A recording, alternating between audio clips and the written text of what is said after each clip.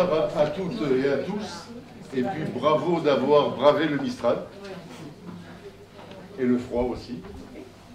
Ce soir, nous allons aborder une chose un peu inhabituelle à l'Université populaire, en tous les cas depuis que nous organisons ces, conférences, euh, puisque Nouria va nous parler d'intelligence artificielle. Je lui indiquais tout à l'heure que dans les années 85, euh, c'était au Salon international d'intelligence artificielle qui se tenait euh, à Avignon.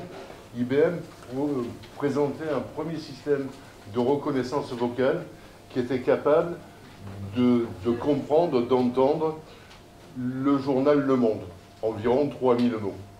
Pour vous donner une idée, la Provence, euh, je ne sais pas si c'est un journal, en tous les cas, le machin qu'on appelle la Provence, c'est moins de 1000 mots. Le petit Robert, c'est 15 000.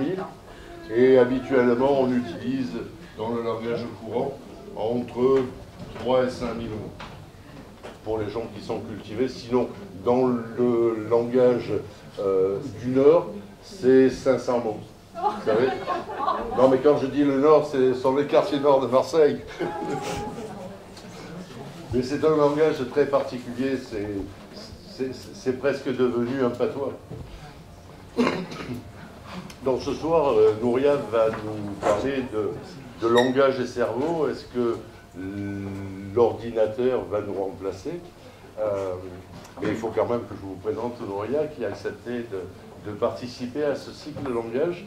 Et je dis encore une fois, mais vous m'avez déjà entendu, euh, c'est grâce à Léa Boutura qui est au fond de la salle que ce cycle a pu exister, car c'est elle qui a sollicité ses collègues chercheurs, ses collègues enseignants, et qui a organisé cette série de conférences.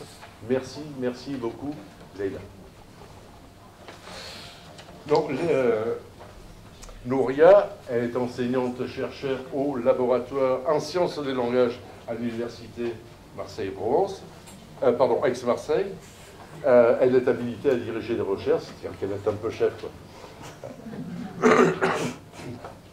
Et puis, euh, dans ses travaux, elle étudie plutôt, plus particulièrement euh, les langues étrangères dans la langue, et la langue française. Et elle est aussi euh, responsable de LPE.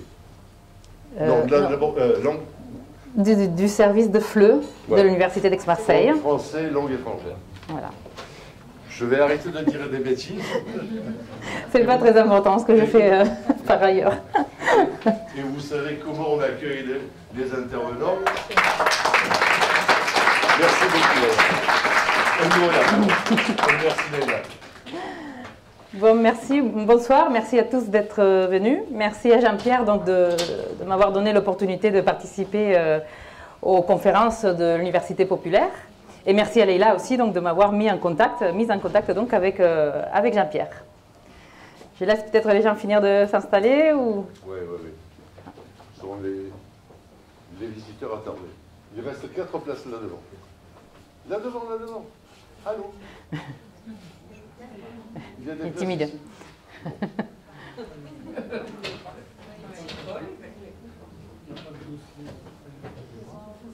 Et pourtant, j'essaie de commencer à l'heure.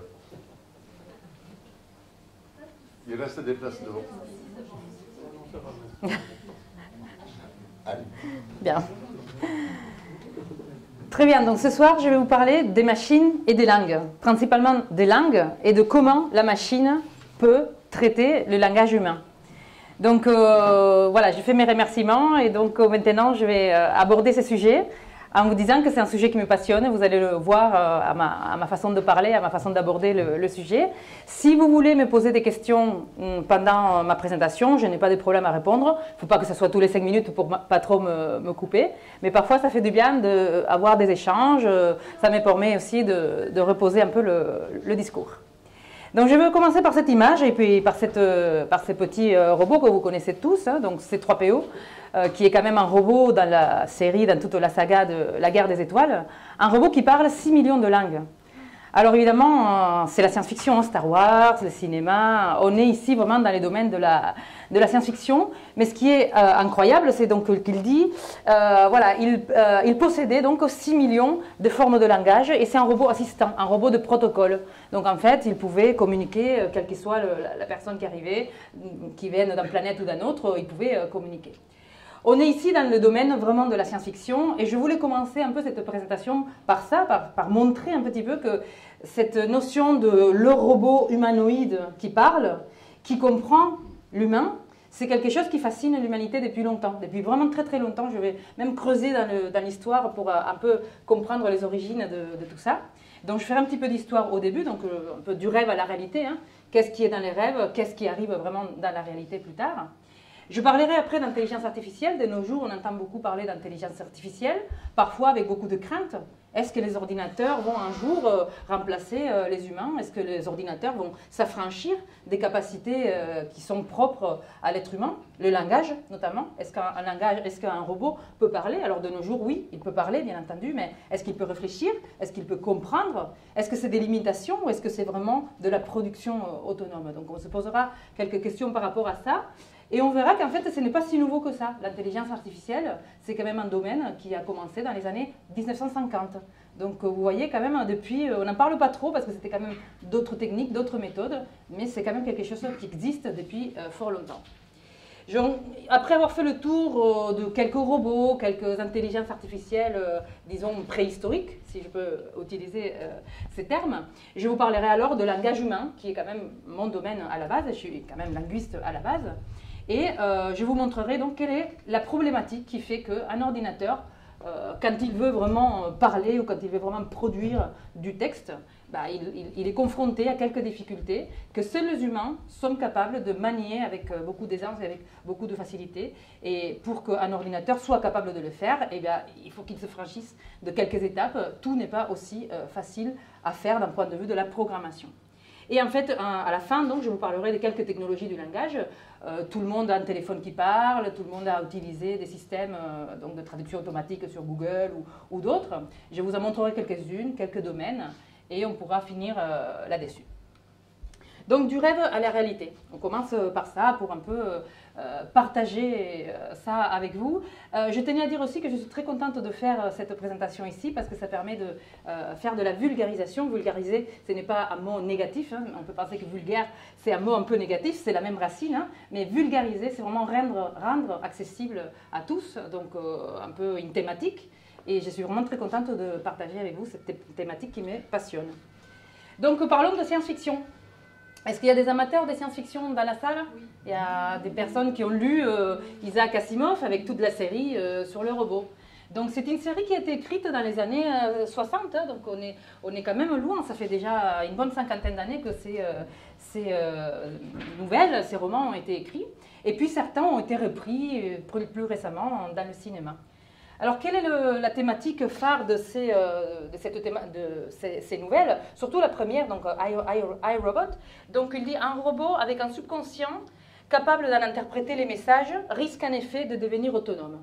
Donc, déjà, on pointe ici cette notion de est-ce qu'on va créer quelqu'un qui nous rassemble et qui va devenir autonome, autonome c'est-à-dire il va prendre en quelque sorte le pouvoir et il va être capable de faire comme si nous, euh, enfin comme, si, comme les humains.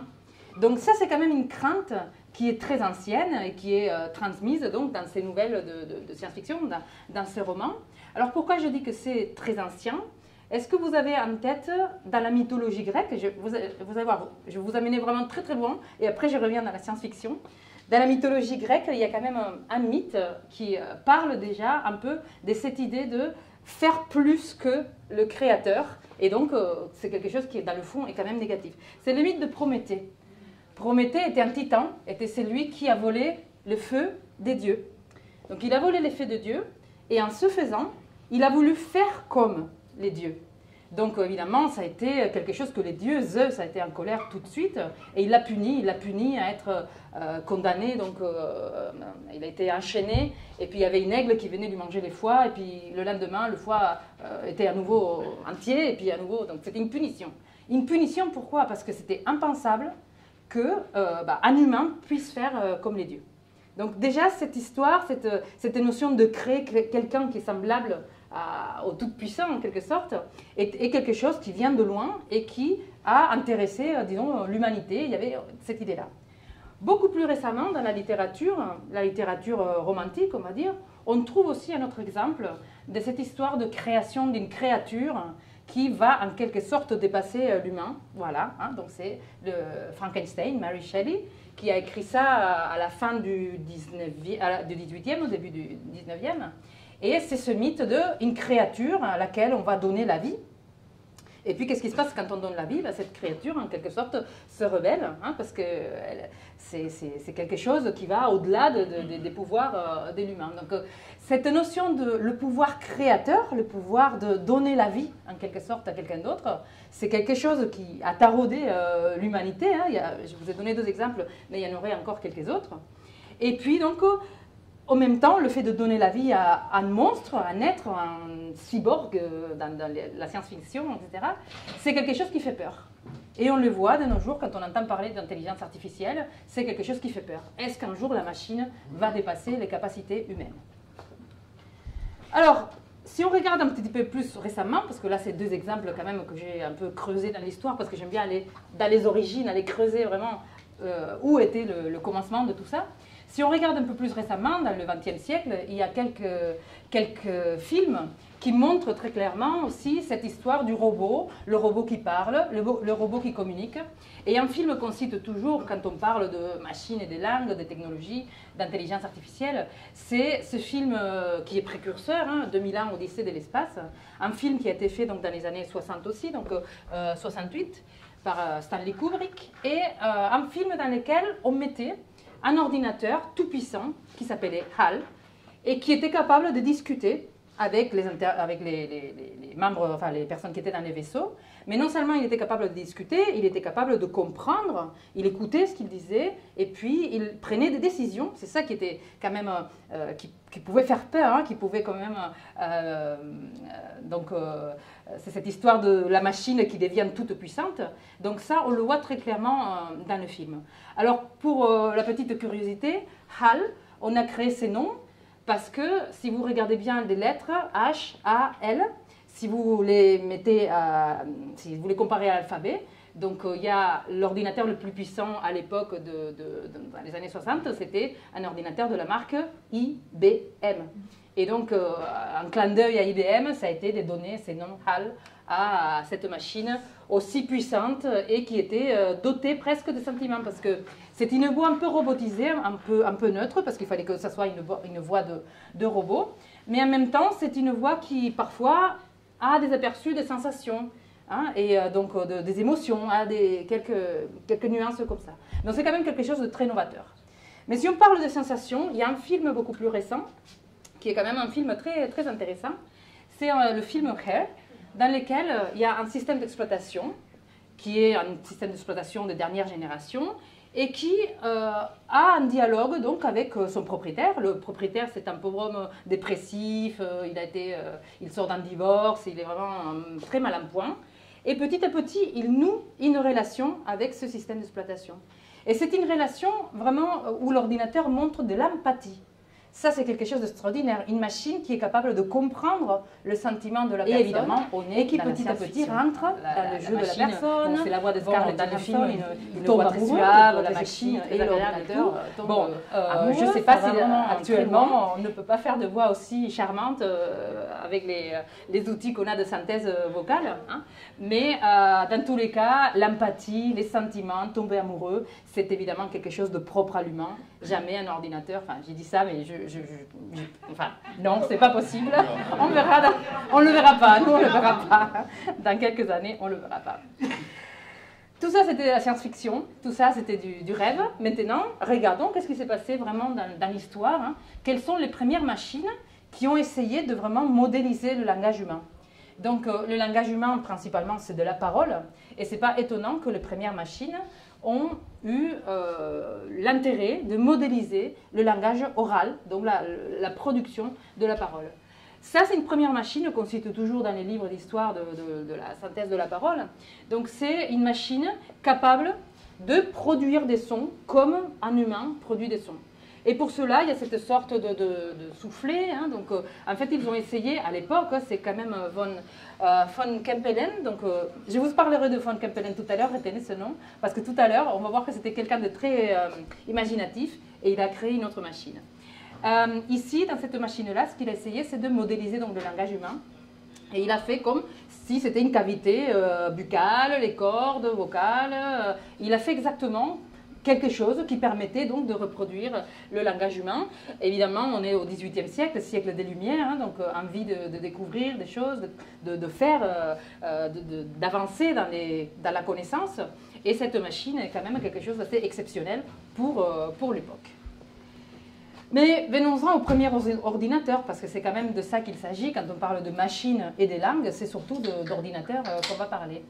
Très récemment, il y a eu ce film, donc Imitation Game, dans lesquels on euh, décrivait la vie d'Alan Turing. Donc euh, Alan Turing, comme vous savez, c'est celui qui a décodé le premier, enfin décrypté plutôt le, code Enigma, donc pendant la Seconde Guerre mondiale.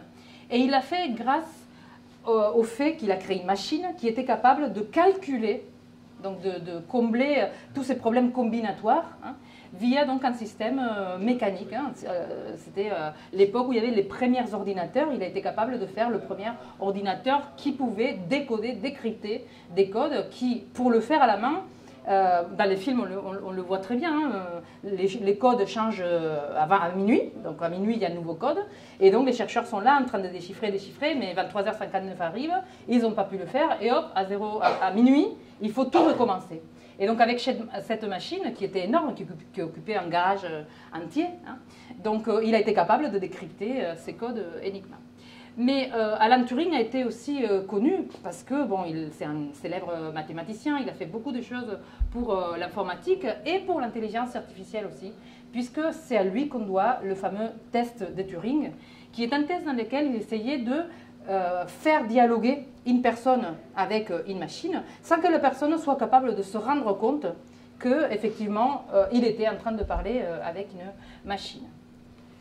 Donc on va maintenant parler un petit peu d'intelligence artificielle, on rentre dans le vif du sujet. Comme je vous disais, l'intelligence artificielle, on en parle beaucoup de nos jours, c'est devenu un sujet très à la mode et surtout avec cette crainte de où est-ce qu'on va et est-ce que la machine va faire plus ou mieux euh, que nous. Et oui, elle va faire plus et mieux que nous, mais de là à tout faire et à prendre le pouvoir, c'est euh, autre chose. L'intelligence artificielle, c'était un terme euh, assez novateur et assez provocateur qui était paru dans les années 50. Pourquoi provocateur? Parce que l'intelligence, par définition, c'est quelque chose qui touche à la personne, aux humains, à l'espèce humaine. quelques animaux aussi sont intelligents à leur façon, mais dans un monde beaucoup plus circonscrit. Hein, l'intelligence telle qu'on la comprend, c'est quelque chose de propre à l'humain. Donc dire intelligence artificielle, c'est quelque chose de provocateur. Et d'ailleurs, il y a eu beaucoup de, remous avec, euh, avec ce terme. Euh, un des premiers programmes qui a été capable donc, de mettre en place le, test de Turing était ce programme qui s'appelait ELISA, donc dans les années 60, dans lequel on reproduisait une conversation comme si une personne allait parler avec son psy. Avec son psy. Et donc, euh, je ne sais pas si vous allez arriver à lire. Donc, euh, bonjour, euh, je suis Elisa, je suis désolée. Ou, voilà. Combien de temps avez-vous été désolée Depuis, je ne sais pas quand. Dites-moi plus. Donc, bon, on voit très vite que la machine essaye de se baser sur ce que la personne a dit pour qu'après, elle enchaîne avec un langage euh, naturel, hein, de ce qu'on appelle le langage naturel, je parlais tout à l'heure. Donc elle produit des phrases correctes en anglais, mais si on essaye de tenir une conversation telle que vraiment deux personnes auraient cette conversation-là, et encore plus une personne avec euh, son psy, on voit très vite que ce n'est pas possible, que ces tests euh, tombent à l'eau. Hein. Donc à l'époque, dans les années 60, on n'était pas capable d'aller pas plus loin que ça avec ce qu'on appelle la langue naturelle, c'est-à-dire être capable de tout dire. Je suis désolé ou euh, j'ai mal à la tête, enfin des expressions vraiment du, quotidien. Hein. La machine reprenait. Et pourquoi tu as mal à la tête?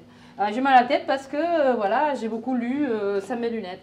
Et pourquoi tu n'as pas tes lunettes? Bon, ça reprend chaque fois la, phrase, donc on voit très vite les limites de, l'approche. Mais bon, on est dans les années 60, c'était déjà quelque chose de fabuleux d'avoir pu mettre en place ce type de système. Un autre système qui est euh, très connu. Ça nom complètement imprononçable. À chaque fois, je, je dis ça en cours à mes élèves. C'est voilà, c'est quelque chose de vraiment imprononçable. Je ne sais pas pourquoi c'est des sigles exactement. Je ne sais pas à quoi elles correspondent. C'est un système qui est très connu dans les mondes de l'intelligence artificielle. Pourquoi? Parce que c'est le premier système dans lequel, effectivement, un humain est capable de parler à la machine, de lui donner des ordres, et la machine répond et fait exactement, en général, hein, euh, ça se passe plutôt bien, euh, donc euh, ce que la personne demande. Cependant, si vous regardez bien, c'est un système dans lequel ce qu'on appelle un, mini-monde, un, monde fermé, des cubes, de blocs, hein, de, de, figures géométriques. Et en fait, les ordres que l'humain peut donner, c'est prends le cube rouge et mets-le derrière le cube vert. D'accord? Donc la machine comprend cube rouge, hop, derrière cube vert. Donc il y a quand même tout un ensemble de règles qui sont très spécifiques, qui sont vraiment très euh, euh, liées à ce monde fermé des cubes et des blocs et des, pyramides. Et donc, euh, le système fonctionne, et c'était un exploit dans les années 70 de faire un système qui dialogue avec l'homme, mais comme on dit, c'est un système qui fonctionne parce qu'il est dans un monde fermé, dans un monde vraiment très, très, très délimité, où devant, derrière, en haut, en bas, rouge, vert, ce n'est pas ambigu, euh, les, les, règles sont telles qu'elles sont, et euh, ça ne pose pas de problème. On avance un petit peu dans l'histoire et l'intelligence artificielle a été capable de produire des machines qui jouent aux échecs.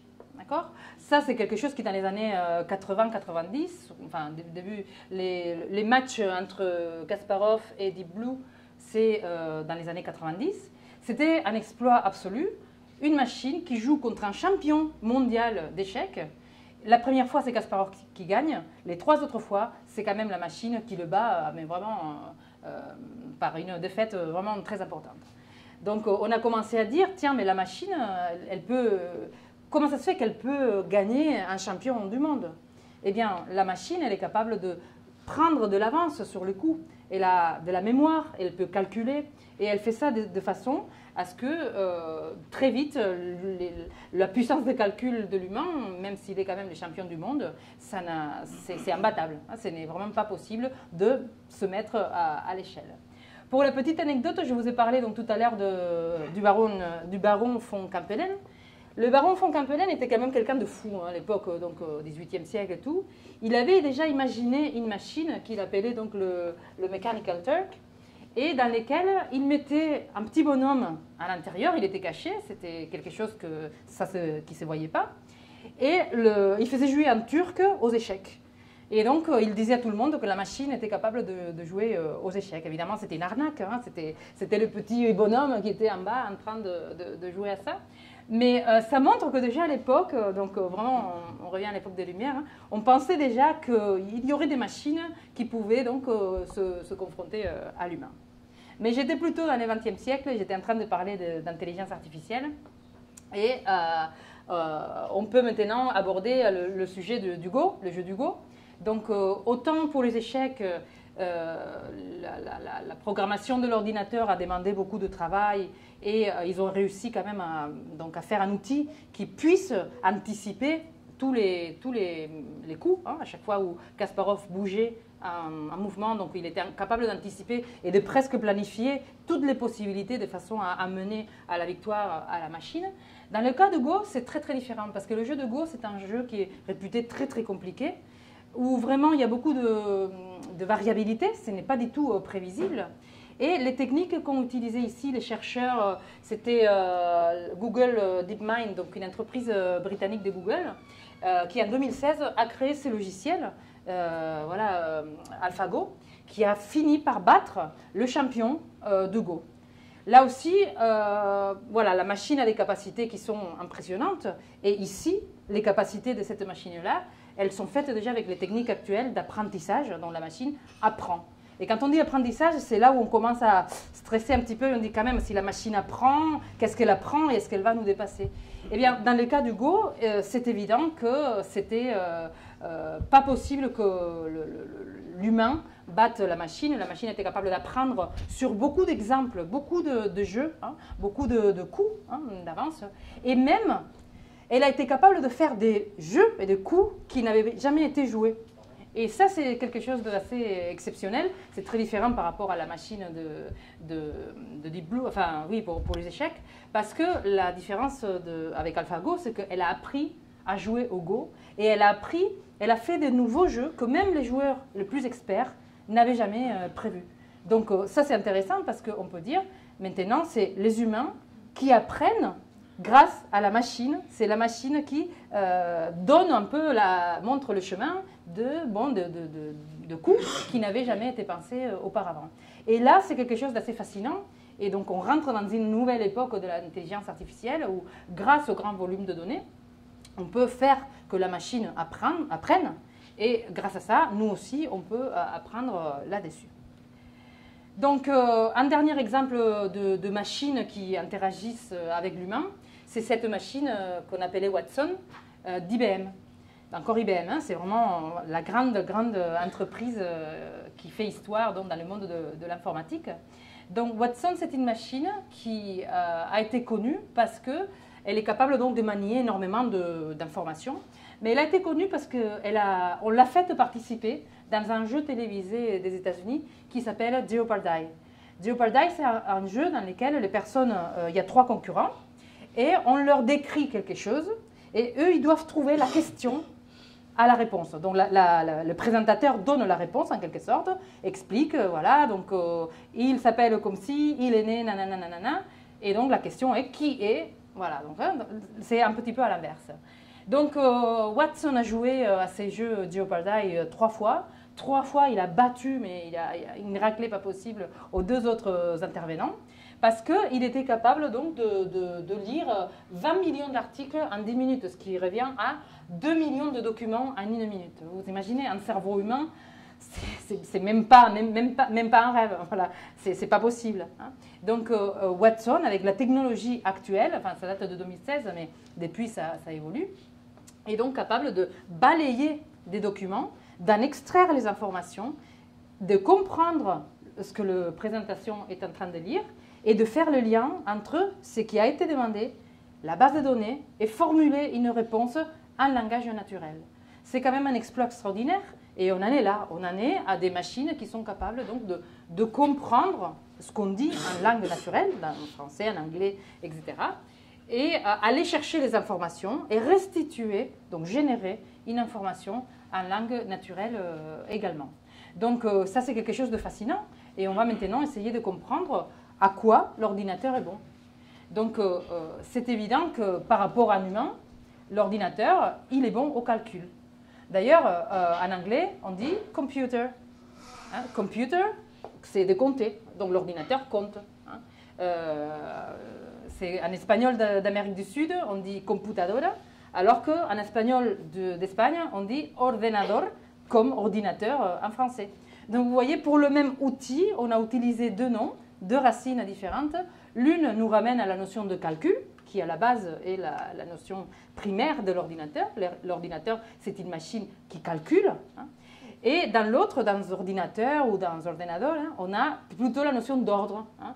L'ordinateur est une machine qui nous permet de mettre de l'ordre. Donc bien évidemment, la machine est bonne au calcul. Elle calcule à une puissance, à une vitesse qui n'est pas comparable avec euh, la, puissance et la vitesse de calcul de, l'humain. Et puis plus le temps passe, plus la puissance et la vitesse augmentent. Ce qui veut dire que plus elle est capable de traiter de plus, enfin, de plus en plus euh, euh, d'informations. Donc le calcul, la vitesse de, calcul. Il y a aussi l'analyse. La machine est bonne à faire des analyses, à repérer des patrons, à repérer des régularités et donc à extraire des informations par rapport à ces régularités-là. Et ça, ça va être très intéressant pour nous, pour les traitements automatiques de langue, parce que ça va nous intéresser dans la façon comment l'ordinateur va traiter et va analyser euh, le langage humain. C'est-à-dire que maintenant, comme on a accès à des grandes masses de données, les big data, c'est d'énormes masses de données, l'ordinateur est capable d'aller parcourir hein, ces données, ces, grandes quantités de données, et à partir d'ici, donc, d'extraire des régularités qui vont lui servir après à produire des règles. Donc on est un petit peu dans un système différent. Moi, j'ai fait ma thèse il y a euh, une bonne... Enfin, c'était en 2003, donc il y a quelques années de ça. Et on, était encore dans des systèmes à base de règles, c'est-à-dire que le linguiste ou l'informaticien faisait des règles et après il les appliquait au corpus. Maintenant, c'est un petit peu à l'inverse. C'est un petit peu de l'induction, c'est-à-dire qu'on regarde les exemples et à partir de là, on en tire des règles générales hein, qui vont permettre donc de, faire d'autres analyses sur des données qui n'ont jamais euh, été vues. Donc l'apprentissage euh, dont on parle très fréquemment, c'est un petit peu cette idée de on travaille sur des grandes masses de données, on, fait, on lance les programmes sur des grandes masses de données, on repère les régularités, ce qu'on appelle les patterns en quelque sorte, et à partir de là, on génère des règles beaucoup plus générales qui vont nous servir pour analyser euh, d'autres documents. Donc pour conclure sur cette partie sur euh, l'intelligence artificielle, euh, je, vous recommande ce livre de Jean-Gabriel Ganassia qui est vraiment euh, très fascinant par rapport donc, à ce mythe de la singularité. Est-ce que l'ordinateur va un jour dépasser l'humain?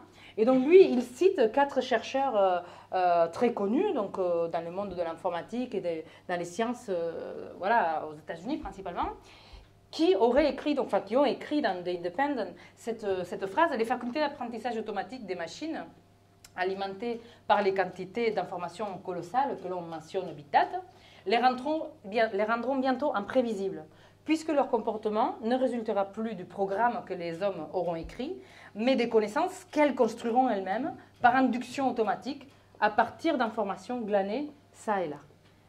C'est vrai, c'est vrai, puisqu'il y a quand même euh, énormément de données, hein, le big data, on a énormément de données euh, à notre portée. C'est vrai que de plus en plus, les ordinateurs, les ordinateurs seront capables d'extraire des données, des régularités et de produire. Des, produire des résultats, des analyses, de produire des, euh, du langage humain. Hein. Mais de là à devenir autonome, ça c'est vraiment autre chose. Parce que pour devenir autonome, ça veut dire que pour faire ces apprentissages, elles auraient besoin de, de, ne pas être en contact avec l'humain. Or, souvent, ces apprentissages-là se font de façon ce qu'on appelle supervisée. C'est-à-dire qu'à la base, il y a des corpus qui ont été annotés. Hein, l'humain a quand même annoté, et c'est à partir de là que la machine apprend. Donc si on dit que la machine peut apprendre de façon non supervisée, il y a des modèles qui existent, il y a des modèles non supervisés. Mais de nos jours, ils fonctionnent beaucoup moins bien que les modèles euh, supervisés. Donc euh, je pense qu'on en est loin et on verra maintenant par rapport à, la diversité et à la complexité des langues que c'est vraiment quelque chose qui est encore loin. La machine est capable de produire les langages, elle est capable de, faire beaucoup de choses, mais de là à devenir autonome et penser, comprendre, parler comme nous, humains, parlons, je pense qu'on est encore euh, bien loin. Voilà. Je ne sais pas si voilà, vous avez peut-être une petite question avant que j'attaque la partie plus euh, linguistique. Euh, on parle de développement de la programmation. Oui, c'est sûr que derrière, il y a un informaticien qui programme euh, tout ça. Donc l'homme est toujours là. De machine, en fait, il y a une. Ceux qui ne savent pas, je ne parle pas d'ici, euh, confusion, la machine tout seul. Non, c'est l'homme qui est derrière. Tout à fait. À quel moment l'homme sera plus derrière tout à fait. Mais je pense que ça, c'est euh, l'exemple que j'ai montré de AlphaGo, par exemple, où la machine a été capable de produire de, de, de coups dans les jeux qui n'avait jamais été fait par des hommes. C'est là où on s'est dit, tiens, la machine, elle, trouve des régularités là où l'intelligence humaine ne les voit pas. Parce qu'elle est capable de, de, Elle a une vision à l'avance. Et, c'est là que. qui, qui titille euh, certaines personnes, et beaucoup de, personnes, parce que même des scientifiques euh, importants, qui se posent la question est-ce que la machine va devenir un jour autonome? On est encore loin, hein, je, pense, parce qu'effectivement, on a besoin d'informaticiens derrière pour coder euh, toutes ces connaissances. Oui, oui, oui, c'est sûr. Oui, oui. Ceci dit, quand même, pour revenir sur euh, AlphaGo, il y a un exemple qui est très intéressant, c'est que la dernière mouture d'AlphaGo, AlphaGo 0, mhm. a été capable d'apprendre uniquement par elle-même en jouant contre elle-même un très grand nombre de fois. C'est-à-dire que dans la dernière version, il n'y avait plus. Elle la, première version que vous avez présentée, elle, apprenait à partir de parties faites par des humains. Mhm. Dans la dernière version, qui était la meilleure d'ailleurs, mhm, la machine a joué uniquement contre elle-même. Donc pour répondre à monsieur, en fait, on est de plus en plus euh, sans intervention humaine dans ces cas-là c'est quand même assez impressionnant parce mmh, mmh, mmh. qu'elle a réussi à battre justement. Dans un cas donné, évidemment, dans un cas donné. Mais elle a quand même réussi, par exemple, la, dernière version, arriver à jouer aux échecs, au Go et au shogi, qui sont les échecs japonais. à chaque fois en battant des grands maîtres. Euh, je suis d'accord avec vous, on est, on est encore loin d'imaginer des choses. Euh, des machines autonomes qui pensent. Bah, pour qu'elles soient autonomes, il faudrait arriver qu'elles se construisent elles-mêmes. On a, on, a quand même, on a quand même là à faire un cas qui est assez, assez remarquable parce que finalement la machine elle a appris d'elle-même.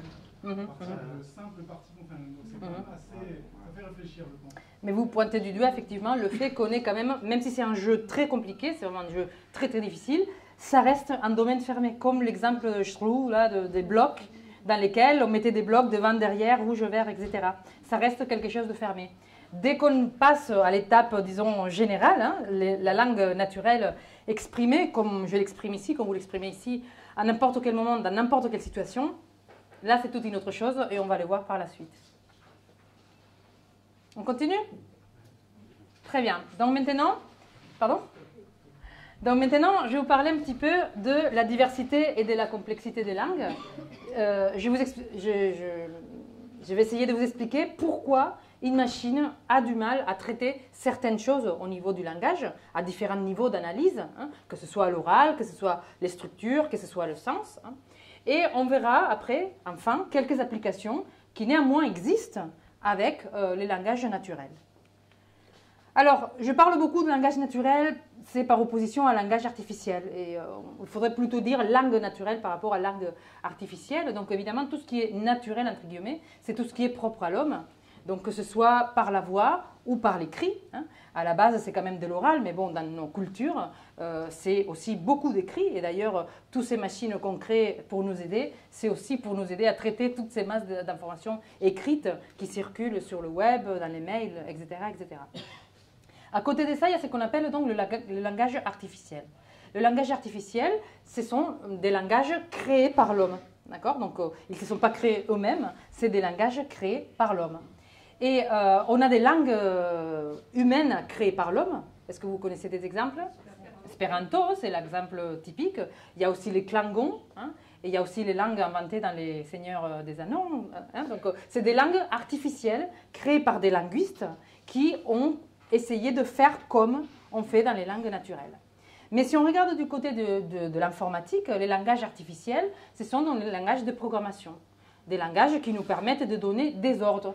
Un algorithme n'est autre chose qu'un ensemble d'ordres hein, qui, euh, qu'on va donner à l'ordinateur. Et lui, l'ordinateur, va appliquer ces ordres. Si ceci, alors cela. D'accord? Donc c'est un ensemble d'ordres. Ces langages artificiels, la principale différence avec les langages naturels, c'est le nombre d'unités. C'est-à-dire que les langues naturelles, par définition, ont un vocabulaire infini. Si je vous dis de me donner tous les verbes du français, c'est pas possible. Même dans un dictionnaire, c'est un échantillon. S'il y a 15 000 mots, 20 000 mots, 30 000 mots, c'est un échantillon. Tous les mots d'une langue ne peuvent pas être capturés dans, un- dans une ressource. En revanche, pour le langage artificiel, le langage informatique, on peut définir tout un ensemble de, variables, on peut définir tout un ensemble de, formules qui sont codifiées et qui vont rester dans un cadre restreint. Donc quand on parle de langage artificiel par rapport à l'opposition euh, de langage naturel, des langues naturelles, c'est surtout cette différence entre le nombre d'unités, les nombres de mots hein, qu'on va pouvoir utiliser dans les langages naturels par rapport au langage artificiel. Et là, il y a déjà une première complication comment on va faire pour que la machine soit capable d'apprendre, hein, de, de- vraiment comme on fait euh, quand on est petit, un bébé, un enfant, quand il apprend les mots, il apprend avec son intelligence artificielle, euh, euh, naturelle. Hein. Euh, c'est pas possible. Enfin, comment on fait pour qu'une machine fasse comme un enfant Comment elle peut apprendre tous les mots d'une langue? Ce n'est pas, enfin, c'est quand même un problème. Et puis si on essaye d'imaginer, enfin de, prendre le problème aussi par rapport à la diversité des langues, est-ce que vous savez combien de langues il y a dans le monde? Ouais, autour de 7000 on dit. hein. Bon, après évidemment le statut, le statut est très différent. hein. Il y a quand même un- une centaine de langues qui sont partout, qui sont sur le web, qui sont dans la littérature, etc., qui sont écrites, qui ont des ressources. Et il y a plus de, enfin, six euh, plus de 6000 langues pour lesquelles il n'y a pas de ressources. C'est des langues principalement orales, des langues qui sont euh, dans des... euh, vous voyez aussi dans cette carte, je l'aime beaucoup parce qu'elle montre aussi qu'il y a des zones dans la planète où la densité linguistique elle est très forte. La zone où il y a le plus de langues au monde, c'est la zone de l'Indonésie. Hein, Il y a, je ne sais pas si c'est, je ne veux pas dire des chiffres, je ne m'en souviens pas, mais c'est quand même quelque chose de très très très important. Donc là aussi, on peut se dire comment on va faire pour que la machine puisse être capable de, prendre en compte toute cette diversité linguistique. En plus, qui dit diversité linguistique dit euh, variabilité. C'est-à-dire que nous, on connaît le français avec un peu de chance, vous parlez tous un petit peu d'anglais, vous connaissez tous une deuxième, une troisième, peut-être une quatrième langue étrangère. Si vous ne la parlez pas, mais au moins vous avez entendu parler, vous connaissez un petit peu comment ça marche. Et vous savez très bien que, par exemple, entre le français et l'arabe, il y a des différences très importantes. Ce n'est pas seulement une question d'écriture, il y a aussi des différences par rapport à la, aux catégories des mots. Hein. Ou alors, si on compare des langues comme le, japonais et euh, le français aussi, il y aura énormément de différences par rapport euh, à la structure. Donc, il y, a, des cas pour le français, euh, pour le, pour le japonais. Au niveau de la prononciation, le japonais est très facile, il n'y a que trois voyelles, donc en fait, c'est facilement prononçable. Après, ce qui est difficile, c'est la différence entre le cri et l'oral, et puis tous les niveaux de, courtoisie qu'il y a en japonais et qu'il faut savoir bien appliquer quand on parle avec, euh, avec un japonais. Donc la diversité des langues, c'est aussi quelque chose de fascinant. Et c'est aussi quelque chose qu'il faut prendre en compte euh, quand on modélise une langue. Quand modéliser, ça veut dire quand on décrit la langue pour que l'ordinateur soit capable de reproduire, d'analyser, etc. Donc principalement, les travaux dont je vais vous parler par la suite concernent l'anglais, forcément, il y a énormément de technologies pour l'anglais, un petit peu les langues, disons, européennes. Euh, je ne suis pas du tout spécialiste des langues asiatiques ou africaines, mais bien évidemment, il y a beaucoup moins de technologies pour toutes ces langues-là.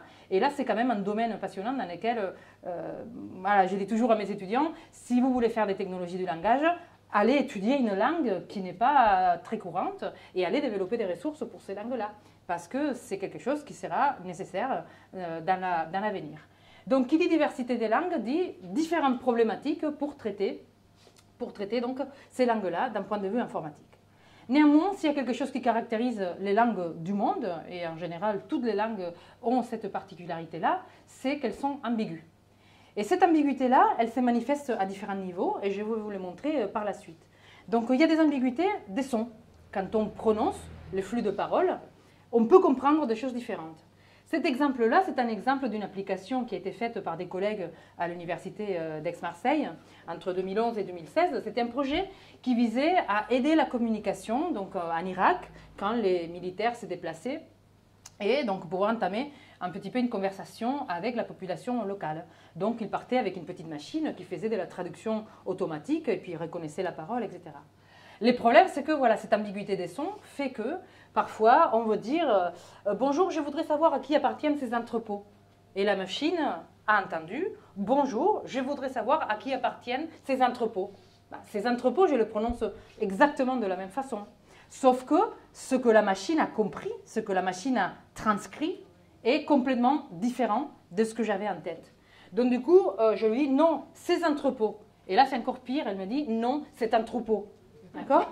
Donc, euh, bon, on est encore loin d'une compréhension parfaite entre la machine du fait de cette ambiguïté des sons. On a aussi de l'ambiguïté au niveau des formes. D'accord? Bon, on connaît tous euh, les homographes. Hein. Donc les homographes, ce sont des mots qui s'écrivent pareil, mais qui se prononcent différents. Hein. Là, on a par exemple le cas de les poules du couvent couvent. C'est un exemple qu'on donne toujours. Euh, si on fait analyser ça à la machine uniquement par la forme, c'est-à-dire par l'écrit, là on oublie l'oral, hein. là on est vraiment dans les exemples que je vais vous montrer par la suite, on est vraiment dans la partie écrite de la langue. L'ordinateur doit comprendre que dans un cas, couvent euh, c'est un nom, et dans l'autre cas, c'est un verbe. Or, ça s'écrit exactement pareil. D'accord? Donc, comment on va faire pour que la machine puisse, dans un cas, identifier que c'est un nom et que c'est un verbe dans l'autre? Si on regarde les autres exemples, c'est des exemples euh, qui ont des ambiguïtés aussi de ce qu'on appelle la catégorie morphosyntaxique.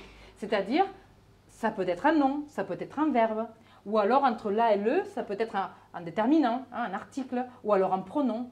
Donc euh, une phrase comme la machine le programme, nous en tant qu'humains, on comprend que c'est la machine qui programme quelque chose.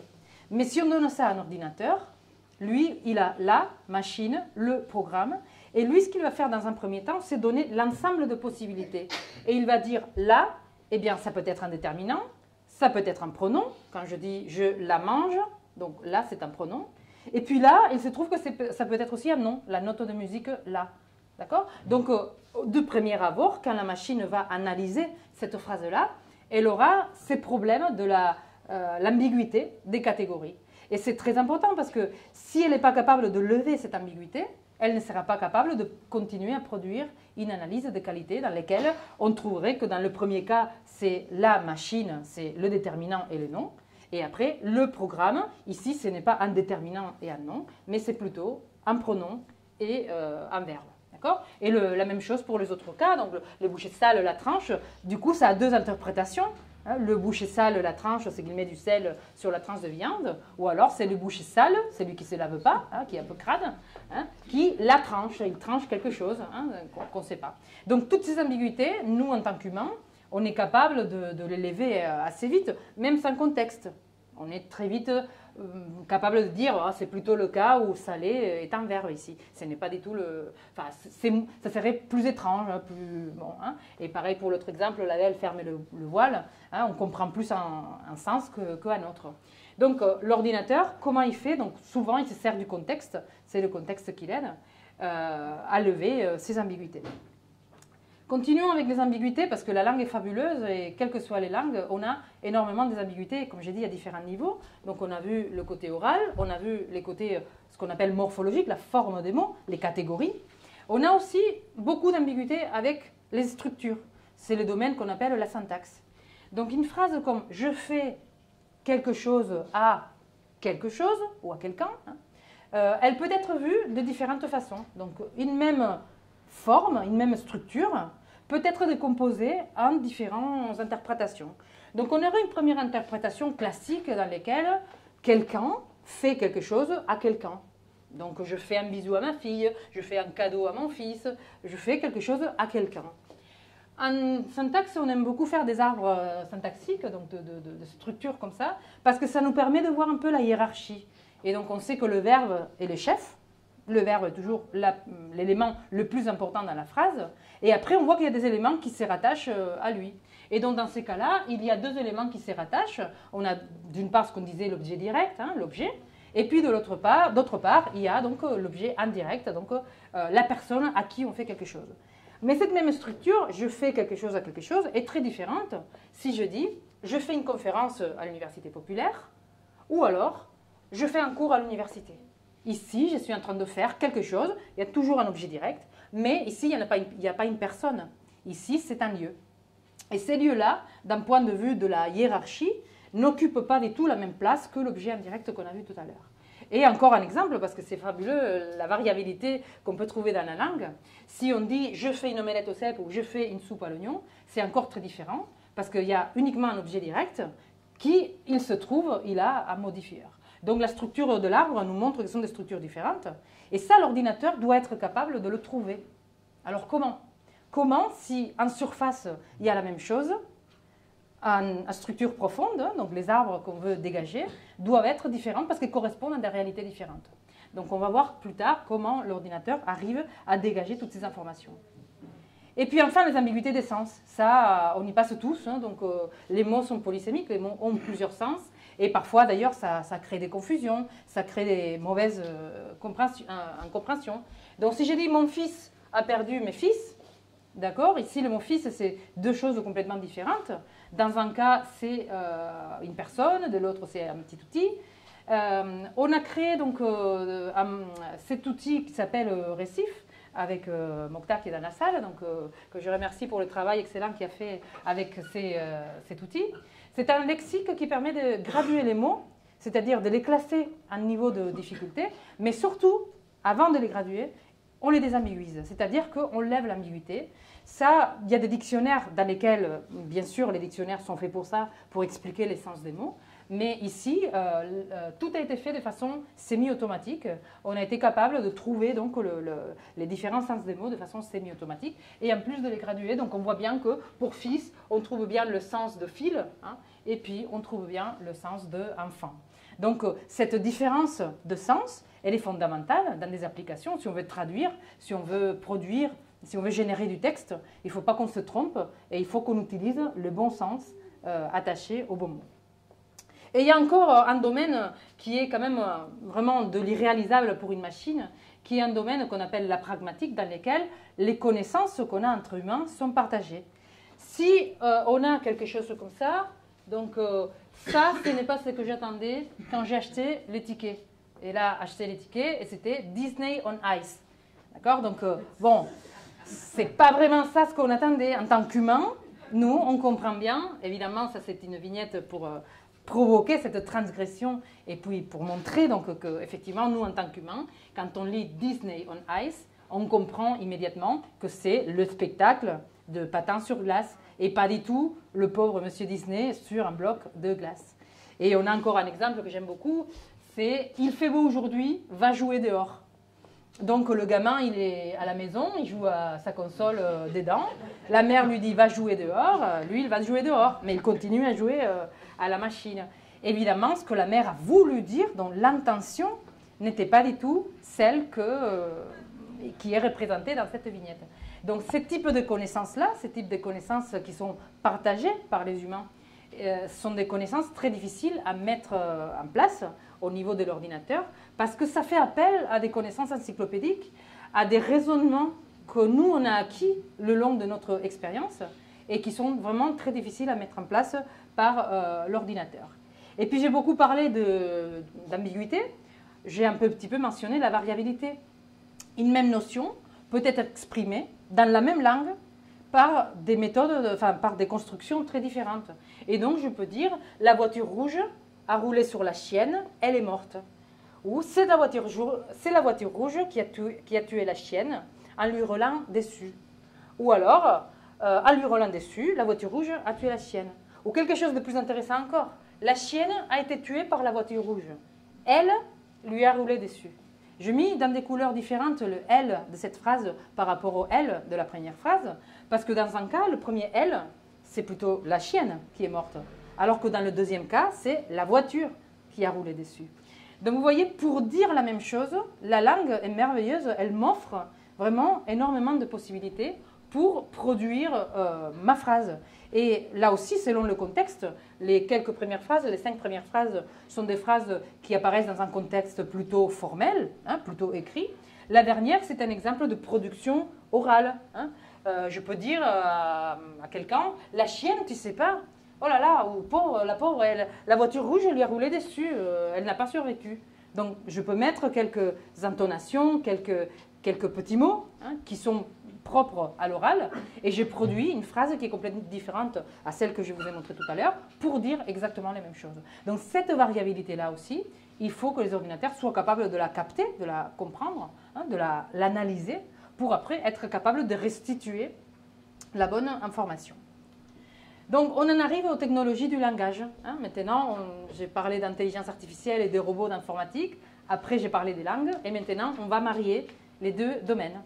Parce qu'en effet, le domaine des technologies du langage, c'est un domaine interdisciplinaire dans lequel on travaille, linguistes, informaticiens, psychologues euh, et plein d'autres domaines qui travaillons ensemble pour pouvoir produire des outils euh, pour traiter le langage.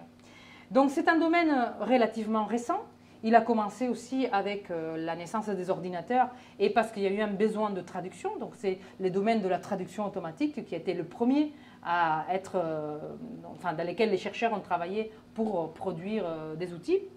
Et c'est un domaine dans lequel principalement on va s'intéresser aux langues. Donc on va devoir faire face au vocabulaire non fini, à la désambiguisation, donc à l'ambiguïté à tous les niveaux, à l'oral, à la forme, à la structure, à la sémantique. Euh, on va devoir gérer aussi euh, la variabilité. Et tout ça, je dirais que là, de nos jours, on arrive à 2020, horizon 2020, c'est quelque chose qu'on entend depuis longtemps. Moi, je dirais qu'il y a quand même beaucoup d'outils qui existent dans les technologies du langage qui font des choses très bien. On a des outils qui sont capables d'identifier euh, les flux de paroles et faire des découpages on a des outils qui sont capables de désambiguiser, de lever, les, l'ambiguïté, que ce soit de forme, de structure, de sens. Donc on y arrive.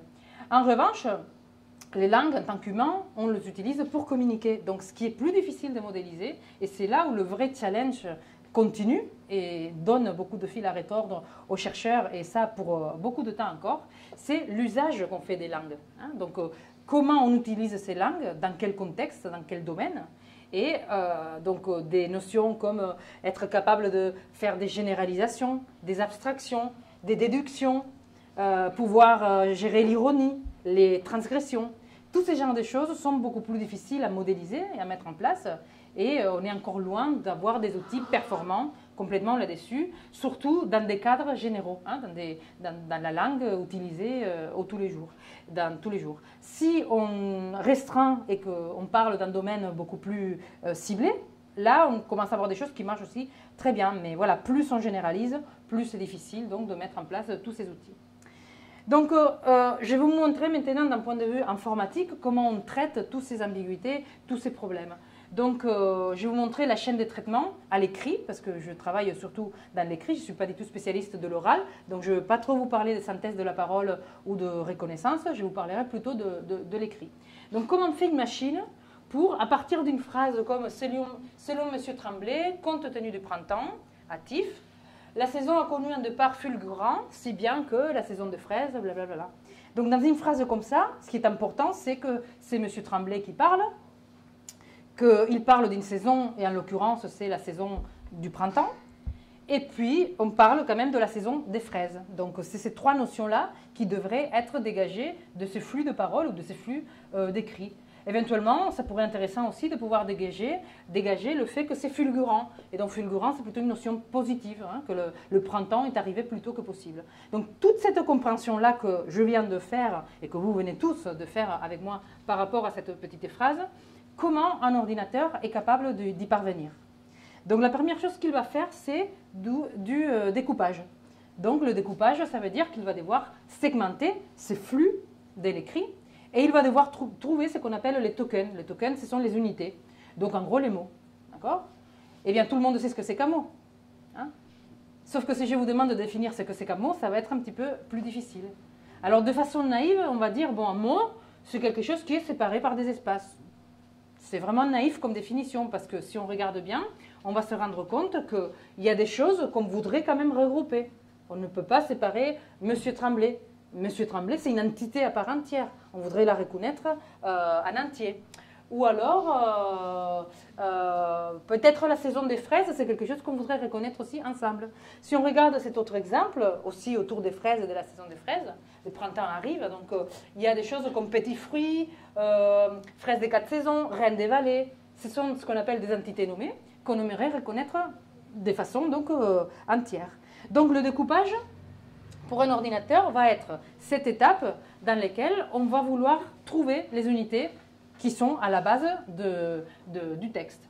Donc ça veut dire qu'on va devoir aller au-delà des espaces, hein, des, blancs, et il va falloir regrouper, mais pas tout le temps. Euh, il y a des fois où il faudra regrouper, il y a des fois où il faudra même découper. D'accord? Donc ce découpage-là se met en place à partir principalement des ressources. Donc on compare le mot du, du texte avec des ressources, des dictionnaires, des listes des mots, et euh, grâce à ces comparaisons-là, on peut, mm, à 99% des cas, trouver donc la, bonne, la bonne euh, coupure. Hein. Et donc, on va être capable de découper euh, fraises des bois, alpines blanches, etc. etc. Donc ça, c'est une première étape qui est fondamentale, parce qu'elle nous permet d'obtenir les unités sur lesquelles on va travailler par la suite. Une fois qu'on a fait ce découpage, ce qu'il faut, c'est ce qu'on appelle étiqueter. Donc il va falloir donner une étiquette, donc savoir si on est en présence d'un nom, d'un déterminant, d'un adverbe, d'un verbe, d'une conjonction, etc., etc. Et à ce moment-là, ce qui va être très important, c'est de lever les ambiguïtés. Parce que je vous ai dit qu'un mot aussi simple, aussi petit comme là, il a déjà trois interprétations possibles. Et donc il va falloir être capable de dire, dans un cas c'est un déterminant, dans un cas c'est un pronom, etc., etc. Donc, euh, euh, c'est un exemple produit par une machine, et on voit effectivement que cette machine-là, qui s'appelle Tritager, n'est pas capable de traiter ce que je vous disais tout à l'heure, les expressions polylexicales, c'est-à-dire tout ce qui relève de plusieurs unités graphiques qui sont regroupées, comme fraise de bois ou euh, Monsieur Tremblay, etc. Et en plus, elle se trompe, il y a des choses qu'elle ne connaît pas, et puis il y a des choses qui ne sont pas très bien reconnues, parce que par exemple, si bien que, si bien que, c'est une expression qui, si j'aurais voulu euh, reconnaître comme une seule conjonction. Euh, il y a des cas où, non, il y a des cas où si bien, c'est quelque chose, et puis le que euh, arrive après. Donc c'est un programme qui va faire ce qu'on appelle l'étiquetage, et après, il va trouver donc les mots à la base. C'est très important de trouver ces mots-là, parce que grâce à ça, on pourra passer à l'étape suivante, qui est l'étape de l'analyse syntaxique. Donc, qu'est-ce qu'on va vouloir faire? Bon, au-delà des arbres qui nous permettent de visualiser, plutôt nous, humains, la hiérarchie, euh, l'analyse syntaxique, ce qu'elle va faire, c'est trouver des structures. Et ces structures-là sont très importantes. Pourquoi? Parce que quand on fait de la recherche d'information ou quand on fait de la traduction automatique, quelle que soit l'application dans les technologies du langage, ce qu'on va vouloir, c'est repérer ce que sont les unités importantes. Donc dans une phrase, moi ce que je vais vouloir repérer, c'est vraiment le verbe, vouloir repérer son objet et vouloir repérer si ce verbe-là est dans une phrase principale ou dans une phrase qu'on appelle subordonnée, parce qu'elle a été introduite par un qui, par un que ou par une conjonction quelconque. Donc c'est très important de pouvoir repérer où sont les blocs qu'on appelle constituants, où sont les blocs importants, parce qu'après c'est sur ça qu'on va travailler par la suite pour extraire les sens. Le but de toute cette analyse, c'est d'arriver au sens. C'est la partie la plus importante. On ne s'amuse pas à étiqueter, à découper euh, en structure juste pour faire euh, qu'une machine puisse euh, faire tout ça. On le fait parce qu'après, on veut arriver au sens de la phrase et au lien entre les différents mots qui sont dans la phrase. Donc après le découpage en structure, on va vouloir extraire des dépendances entre les mots. Donc surtout repérer le verbe, qui comme j'ai dit c'est le chef, c'est l'élément le plus important de la phrase. Et à partir de là, on va vouloir identifier les sujets, l'objet, les éléments qui sont modifieurs. Hein. Les modifieurs ont un, second rôle. Hein. Si c'était un film, le rôle principal serait le verbe, l'objet et les sujets. Et puis tous les autres seraient des seconds rôles qui sont là pour apporter une information, mais qui ne sont pas peut-être pas aussi importants. Néanmoins, s'ils ne sont pas importants d'un point de vue de la hiérarchie, ils peuvent être importants d'un point de vue du sens. Parce que dans la phrase, peut-être ce qui m'intéresse, que euh, c'est que dans cette phrase-là de M. Tremblay, les fraises, la saison, etc., ce qui est important, c'est que c'était dans l'ensemble de la Provence. Donc après, quand je vais vouloir extraire cette information-là, il me faut cette information et savoir que c'est euh, un modifieur et que c'est l'ensemble de la Provence, le, lieu dans lequel a eu lieu donc euh, l'information principale. Et puis enfin, donc on en arrive au sens. Hein. Quand on fait de l'analyse sémantique, euh, on va s'intéresser, par exemple, à ce qu'on appelle les, rôles ou les cadres sémantiques. Par exemple, dans le cas de la, chienne et la, voiture, je veux savoir que c'est la voiture qui est l'agent. Hein. C'est la voiture qui a tué la chienne et pas l'inverse. D'accord? Donc, je veux donner un rôle d'agent, de, personne active, on va dire. pas personne, mais d'élément actif. Euh, ça sera la voiture et pas du tout la chienne dans cette phrase-là, ou dans la liste de phrases que je vous ai proposées tout à l'heure. Fondamentalement aussi, on va chercher le sens. Et donc, euh, nous, humains, dans une phrase comme ça, on comprend qu'on est en train de parler du fruit. Mais le mot fraise, c'est un mot qui est très polysémique. Une fraise, c'est aussi la, collerette qui portait euh, donc, à la Renaissance euh, certaines personnes. Certaines personnes hein. C'est aussi l'outil du dentiste et c'est aussi des abats. Donc pour une machine, que ce soit le fruit, le la collerette, l'outil du dentiste ou l'abat, elle, elle a quatre quatre catégories, quatre sens, et il faut qu'elle choisisse quel est le sens qui nous intéresse dans cette phrase en particulier. Donc ici, bien évidemment, c'est le contexte qui va nous aider. Le mot saison, sûrement, va être quelque chose qui va rapprocher fraise de saison, parce que les autres sens ne sont pas très en rapport avec euh, ce qu'on est en train d'exprimer ici. Et puis, il y a la notion de fulgurant, comme je vous disais. Donc, euh, fulgurant, peut-être ce qui va nous intéresser, c'est de lui donner une polarité. Savoir si ce qu'on vient de dire, c'est plutôt positif ou plutôt négatif.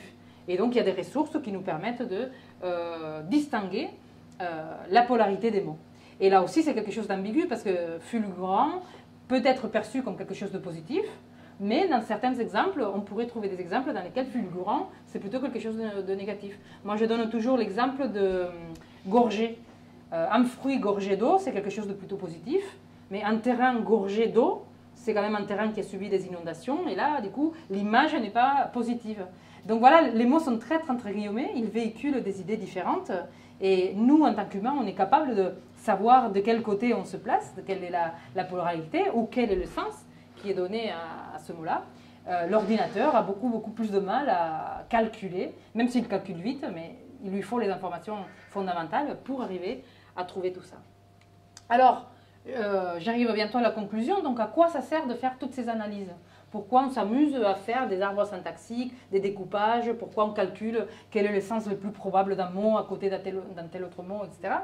Donc, je dirais qu'il y a deux raisons principales qui vont faire, une fois de plus, rapprocher l'homme et la machine. On utilise les ordinateurs, et pas seulement en linguistique, hein, dans d'autres domaines aussi, pour modéliser, pour modéliser des choses.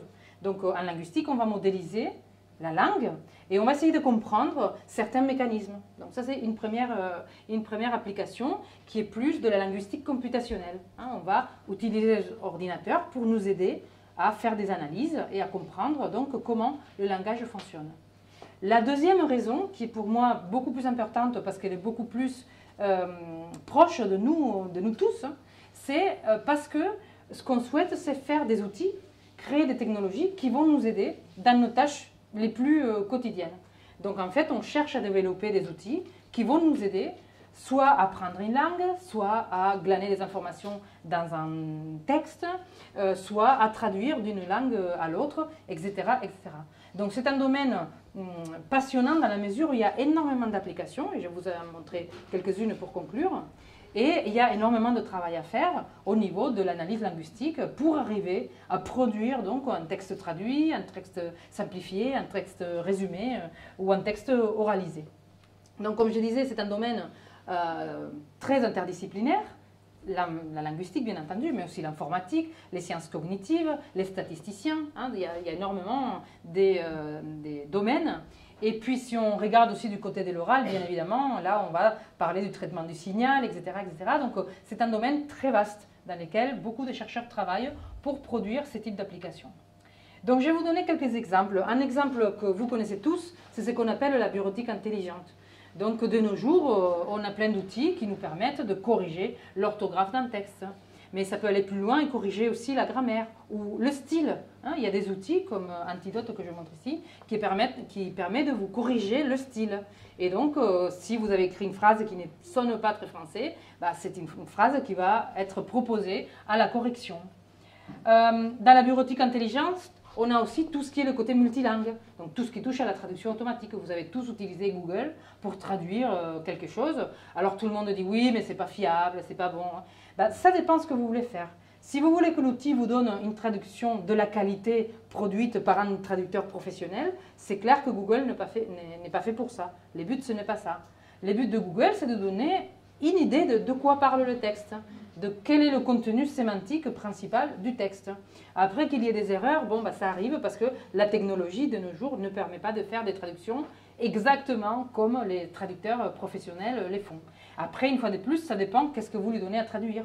Si vous lui donnez euh, un bulletin météo, ça c'est un domaine très restreint, donc la machine sera sûrement capable de traduire ça parce qu'il n'y a pas trop d'ambiguïté. Hein. Les mots, euh, un anticyclone, ça a une traduction dans une autre langue euh, qui n'est pas ambiguë. Hein. Par contre, si vous lui donnez un poème, bien évidemment, là, ça fait appel à l'imaginaire, ça fait appel à d'autres euh, particularités que l'ordinateur va traduire presque mot à mot ou alors en faisant appel à ce qu'il a appris, mais probablement, vous ne serez pas content de la traduction.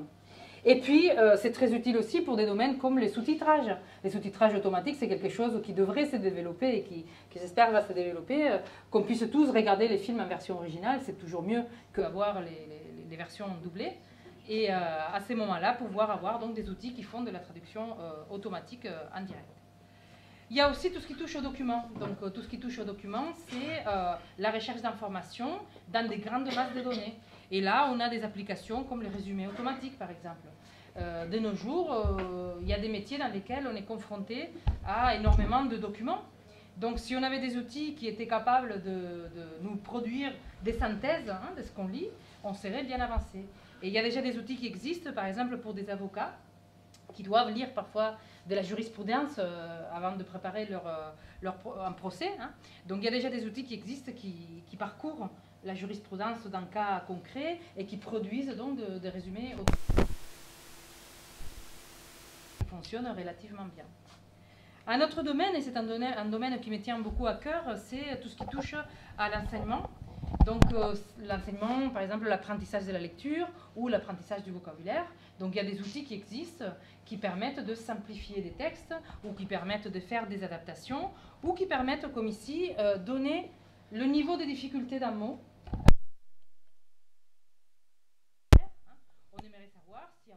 plus accessible à notre niveau ou c'est un mot qui est quand même euh, très élevé hein, d'un point de vue de la compréhension. Donc il y a des outils qui existent et qui nous donnent ces informations-là en utilisant donc, des techniques de traitement automatique de langue pour calculer effectivement ces informations. Il y a le domaine du handicap aussi. Dans les domaines du handicap, on a énormément d'applications qui peuvent aider aussi à donc des robots qui parlent hein, ou des avatars signeurs, des avatars qui vont euh, utiliser la langue des signes dans les cas d'un public sourd ou aussi dans les cas de la dyslexie, par exemple, on a aussi des outils qui vocalisent, hein, qui aident donc l'enfant dyslexique ou l'adulte dyslexique à vocaliser, c'est-à-dire à produire de la parole euh, pour éviter ou pour alléger un petit peu la charge de la lecture qui est très difficile pour les personnes qui sont euh, dyslexiques. Et bon, ça c'est plus du rêve, mais le rêve qui se rapproche petit à petit de la réalité tous les robots parce qu'on rêve quand même d'avoir des machines qui nous rassemblent et donc petit à petit on y arrive. Là, dans les années 2000, il y a eu ce petit Nao ou alors des agents virtuels euh, dans des musées euh, à Boston ou euh, cet autre outil qui est pour les personnes âgées. Donc des robots, des avatars, ça arrive de plus en plus, on les fait parler, on les fait interagir avec l'humain, mais ça peut sembler quelque chose qui se généralise, mais je vous assure que derrière, il y a énormément de travail de modélisation de la langue, précisément parce qu'il y a énormément de phénomènes qui sont très très difficiles à euh, faire apprendre hein, ou à décrire avec les langages artificiels qui sont quand même à la base des, ordinateurs. Donc euh, en conclusion, je voulais vous montrer une image euh, que je montre souvent parce que c'est une image qui a une centaine d'années. Donc c'est un monsieur qui s'appelle euh, Murray, donc c'est celui qui a la, barbe longue et tout, et c'était un lexicographe, donc euh, très important en Angleterre. Donc un lexicographe, c'est celui qui construit des dictionnaires. Donc euh, Murray était à l'origine de l'Oxford Dictionary, qui est un dictionnaire très important pour la langue anglaise, en tout cas britannique, un dictionnaire qui a vu le jour 1905, je crois. Donc cette image-là montre le travail des personnes qui construisaient des dictionnaires. Comme vous savez, dans un dictionnaire, on a des mots. Dans les mots, on va décrire euh, la structure, etc. Et on va chercher des exemples. Et donc, on voit bien qu'il y avait une bibliothèque énorme derrière dans lesquelles bah, ils allaient chercher des exemples et ils étaient presque comme des moines hein, à l'époque médiévale, euh, enfermés. Et puis, ils travaillaient euh, à produire des dictionnaires qui étaient sous format papier, des grosses anthologies, des trucs lourds qu'on tremballait pour l'enseignement des langues. 100 ans après, l'environnement d'un lexicographe ressemble plutôt à ça. C'est-à-dire, comme dans beaucoup de métiers, parce que je pense que vous avez tous des métiers euh, très variés, et dans tous les cas, on a tous un ordinateur personnel dans lequel on a des programmes, et des programmes qui, nous aident. Donc imaginez 100 ans séparent euh, ces, ces deux photos, on peut se dire qu'effectivement, en 100 ans, le bond technologique peut être énorme. Donc euh, cette crainte qu'il y a de l'intelligence artificielle qui va donc créer des robots autonomes et tout, bon, la crainte elle est fondée, mais comme je vous expliquer, par rapport à la langue, par rapport à la langue naturelle, le son me semble quand même trop important pour que dans 100 ans, on puisse résoudre des problèmes d'ambiguïté, de variabilité, de généralisation, de transgression, etc., que nous, en tant qu'humains, on fait de façon très euh, courante et que sont très difficiles à voilà, à coder avec une machine. Donc, euh, euh, dans cette citation, ce que j'ai dit juste, c'est que, euh, ok, c'était un article très provocateur qui disait dans une conférence, est-ce qu'il y aura des lexicographes à l'année 3000 c'était très provocateur parce que du coup, c'était une conférence en lexicographie et tous les lexicographes étaient là, mais bon, nous, on, va exister. Et oui, ils vont exister parce qu'il y a quand même des choses que seulement un cerveau humain pourra, pourra, pourra produire. Et je terminerai avec ce mot de la fin d'un livre que j'ai lu euh, récemment d'Alain Ventolila, qui est un, linguiste, et qui dit que toutes les langues du monde ont la même ambition, permettre à l'homme d'être l'interprète du monde et non d'en être le miroir fidèle. Le monde parlé n'est pas le monde perçu, c'est le monde transformé par les pouvoirs de l'intelligence humaine. C'est un monde que l'homme soumet au pouvoir de sa pensée. Merci beaucoup.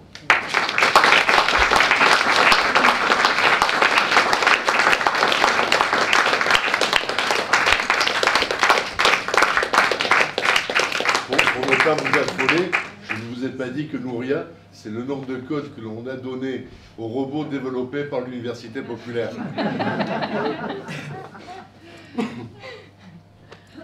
Vous avez certainement mille questions à, poser ou mille réflexions à faire.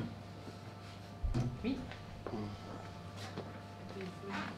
Non, vas-y, vas-y. Avec le micro, euh, c'est oui. Ce, qui m'étonne, enfin, ce qui m'effraie quand même dans je m'émerveille hein, Mhm. l'intelligence artificielle, mais ça m'effraie parce que je me dis que demain, par exemple, euh, les futurs médecins euh, associeront euh, tel symptôme à, à une pathologie et, euh, et vont trouver les thérapies. Enfin, c'est l'ordinateur qui va donner la thérapie. Bah, ça, Bah, ça existe déjà. déjà. Ça existe déjà. hein, ça- ça- existe déjà. il propose des solutions par rapport à des exemples qu'il a déjà vus. Mais après, voilà, il y a toujours quand même l'humain derrière. Ce n'est pas, Oui. on lâche pas la machine. euh, Oui, euh, voilà, Voilà, il c'est a très ambigu. Hein, il y a des à dérives possible. tout à fait. Il y a quand même des dérives.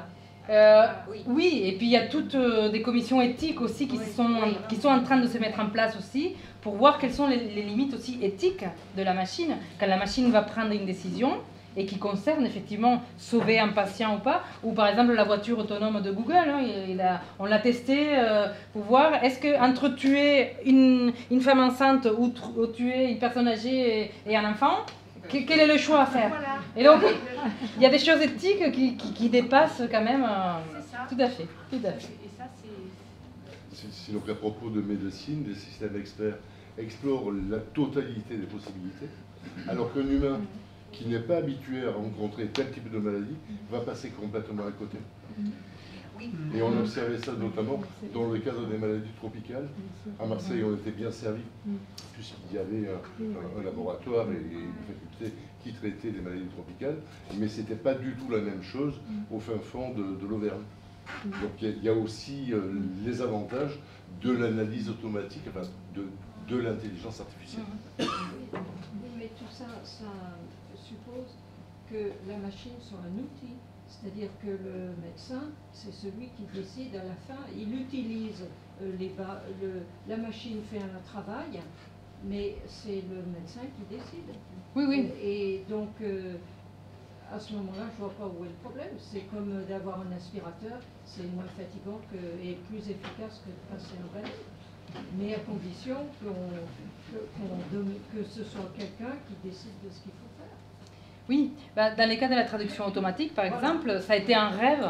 Et on a, dû, on a dit très vite, parce qu'on a, on a, on a, sur la base des enigmas et donc des, des codes, on s'est dit, tiens, la langue naturelle, c'est aussi un code. Et donc, on va faire un code qu'on va transformer en un autre code. Langue A, langue B, on va traduire. Mais il y a eu un élan très important dans les années 50-60.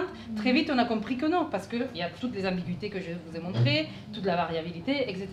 Donc maintenant, ce qui se passe dans les domaines de la traduction, que je, connais bien, c'est un domaine dans lequel on, euh, on parle de mémoire des traductions. C'est-à-dire on stocke des grandes quantités de données qui ont été traduites par des humains, et après c'est la machine qui va chercher et proposer une solution. Mais derrière, il y a toujours l'humain qui va faire la, la- la finalisation de- du document, parce que euh, voilà, dans, dans le cas de la traduction aussi, surtout dans la traduction professionnelle, pas dans la traduction de Google où on veut juste connaître le sens d'un mot ou d'une phrase. Dans la traduction professionnelle, on veut des documents écrits qui soient vraiment propres et bien écrits dans la langue. euh, Et puis qu'il ne fasse pas de faux sens, parce que Voilà. euh, le, ça, quand- dès que c'est un peu spécialisé, enfin semi-spécialisé, euh, même DeepL, qui est bien mieux que Google en Mhm. et ben même euh, DeepL se, se plante. Mhm, mhm. Il, il prend le mauvais sens dans le contexte. Tout à fait. Oui, oui, oui, oui. Donc il faut qu'il y ait un humain. Concernant la peur de, de l'intelligence en fait, des machines, en fait, moi j'aurais plutôt pas peur de, de la machine, tant qu'on peut toujours enlever la prise hein, électrique. Euh, ce serait plutôt euh, ceux qui donnent les ordres et qui peuvent dominer les machines. On le voit déjà avec euh, Google, euh, Facebook, etc. Mhm. On a tout un ensemble de, de notre vie qui est pris en charge Mhm. sans qu'on ne demande rien, tout est calculé, puisque la programmation euh, est fait mais en fait on nous offre des services qu'on ne pas. Mhm. Et on se demande jusqu'à quand ça va aller en fait. Si on Oui. ne va pas devenir des sujets de ces machines, mais tenus par d'autres personnes, des humains. C'est sûr, Voilà, c'est sûr. ça. Oui, oui, oui. Et ça, c'est un problème qui concerne voilà, tout- tout- tous les domaines, tout, tout le monde. Et c'est pour ça qu'il y a des comités d'éthique qui se mettent en place pour réguler euh, tout ça. Mais voilà, il faut être très vigilant, c'est vrai. Ouais, 1984. Oui, oui, c'est euh, voilà, ça c'est déjà prévu aussi Il y a euh, par la science-fiction. euh. Il y a l'économie face à l'éthique. Ah. Et qu'on compris. en Oui, c'est toujours pareil, les, les- les jeux de pouvoir aussi. Ceci dit, c'est à nous, utilisateurs, d'en décider. L'intelligence artificielle, c'est un outil. Et après, euh, les utilisateurs ont quand même, je crois, un certain nombre de pouvoirs. On parlait de médecine tout à l'heure. Si on décide que l'intelligence artificielle elle peut avoir juste un rôle d'aide à la décision et qu'il faut toujours la décision du médecin, je pense que c'est au système et à nous d'en décider. Mhm. On peut euh, décider actuellement aujourd'hui qu'une machine prenne des décisions uniquement sans vérification humaine. On peut décider que par mesure de sécurité, il soit mieux qu'il y ait toujours un expert humain qui évalue. Donc je pense que c'est vraiment une question euh, de société en fait. Mhm. C'est mon avis. euh. Mhm. Mais après, c'est la société évolue et puis quand il y a eu la révolution industrielle, on a eu peur de machines. Quand il y a eu la voiture euh, avec les moteurs, on a eu peur. Enfin, je veux dire, l'évolution technologique est là et puis elle, elle s'accélère. Mais voilà, petit à petit, on y fait face et on s'y adapte. Après, voilà, il faut faire attention quand même aux dérives. Et c'est ça qui est quand même euh, le, le- point inquiétant pour beaucoup de personnes. Mais est-ce qu'il peut y avoir une paupérisation de la langue par la création en fait, d'une langue mondialisée qui, qui diminuerait en fait le, le registre des mots vis-à-vis des autres? Ça, c'est c'est un problème qui n'a, du coup, hum, le fait qu'il y ait une langue qui, soit générale, enfin, qui soit plus utilisée que les autres, ça n'a rien à voir avec l'informatique, parce que l'informatique, elle, elle, va coder ce qu'on lui donne à coder. Voilà. Mais effectivement, si on se met tous à parler anglais, bah, toutes les langues vont disparaître. C'est déjà ce qui se passe dans toutes ces zones que j'ai montrées où il y avait euh, beaucoup de condensation linguistique. Bah, petit à petit, il y a quand même une langue qui s'impose par rapport à une autre. Et c'est ça qui fait que de nos jours, on, on perd des langues. Des langues qui n'ont pas été documentées, euh, etc., euh, disparaissent. Et c'est là aussi où les technologies du langage peuvent venir en aide aussi, parce qu'elles peuvent euh, très vite enregistrer, coder, etc., toutes ces langues-là, pour garder une trace de cette richesse euh, de, de- de notre, euh, enfin, qu'on partage tous, même si on ne parle pas toutes ces langues tellement exotiques, mais c'est quand même une richesse de l'humanité. Oui, mais si la langue a disparu.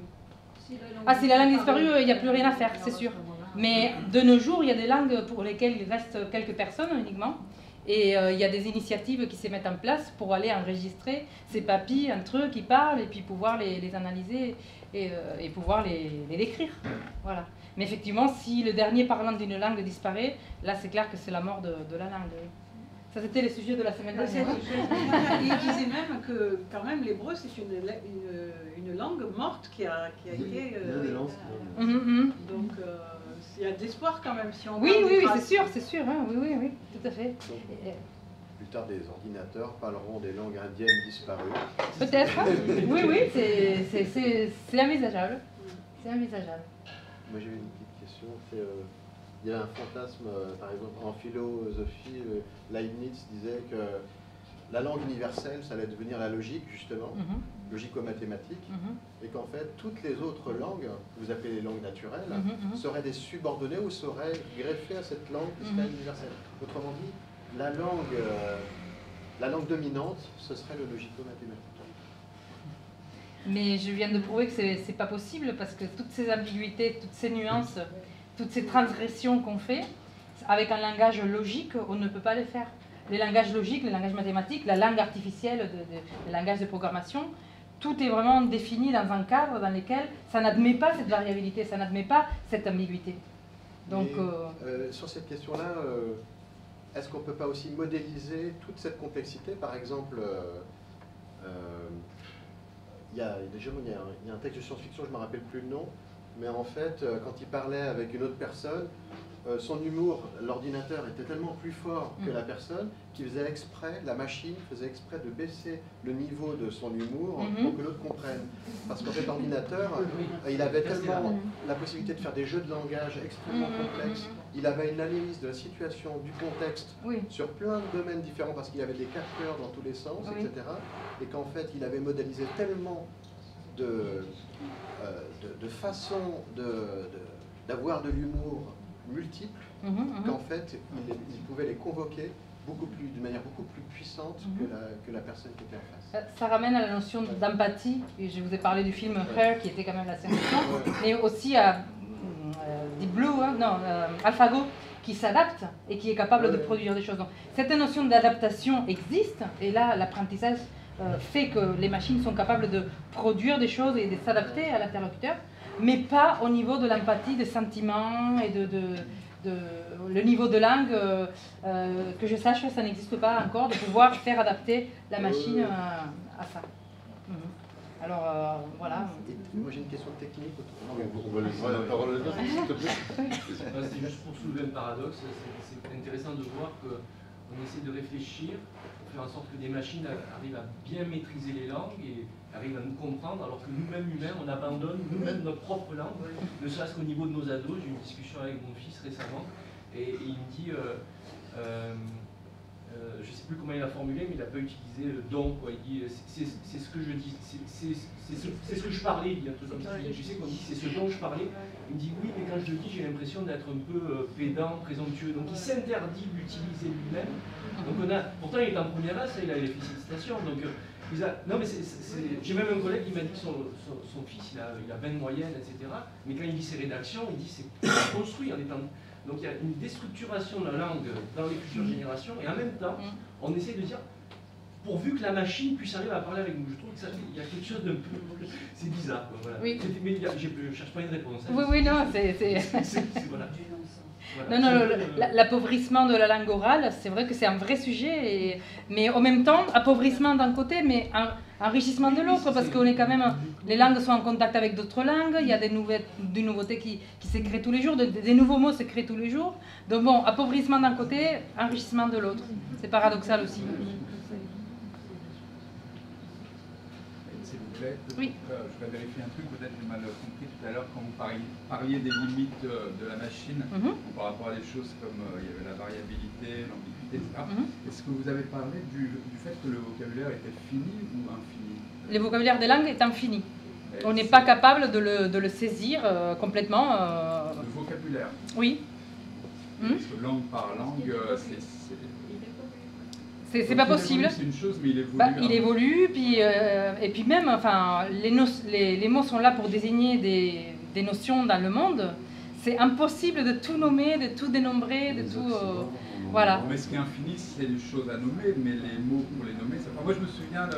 Ah oui, mais ça c'est la, la, création des, des, mots. On va créer un mot, s'il y a un nouvel outil qui apparaît, on va inventer un nom pour, euh, ou l'emprunter d'une autre langue. Oui, pour ça, que ça mhm. évolue, oui, mais le, caractère euh, infini, euh, moi je me souviens d'un truc, il y a déjà une quinzaine d'années, on nous expliquait que, par exemple, les ordinateurs, euh, à partir de corpus de, de mhm. milliards et de milliards mhm. énormes, arrivaient à, donner, à sortir le, nombre de, alors on appelle ça des mots ou des... oui, par rapport à un corpus. Oui, par rapport à un corpus. Mais ce corpus-là ne reflète la réalité du monde. c'est ça.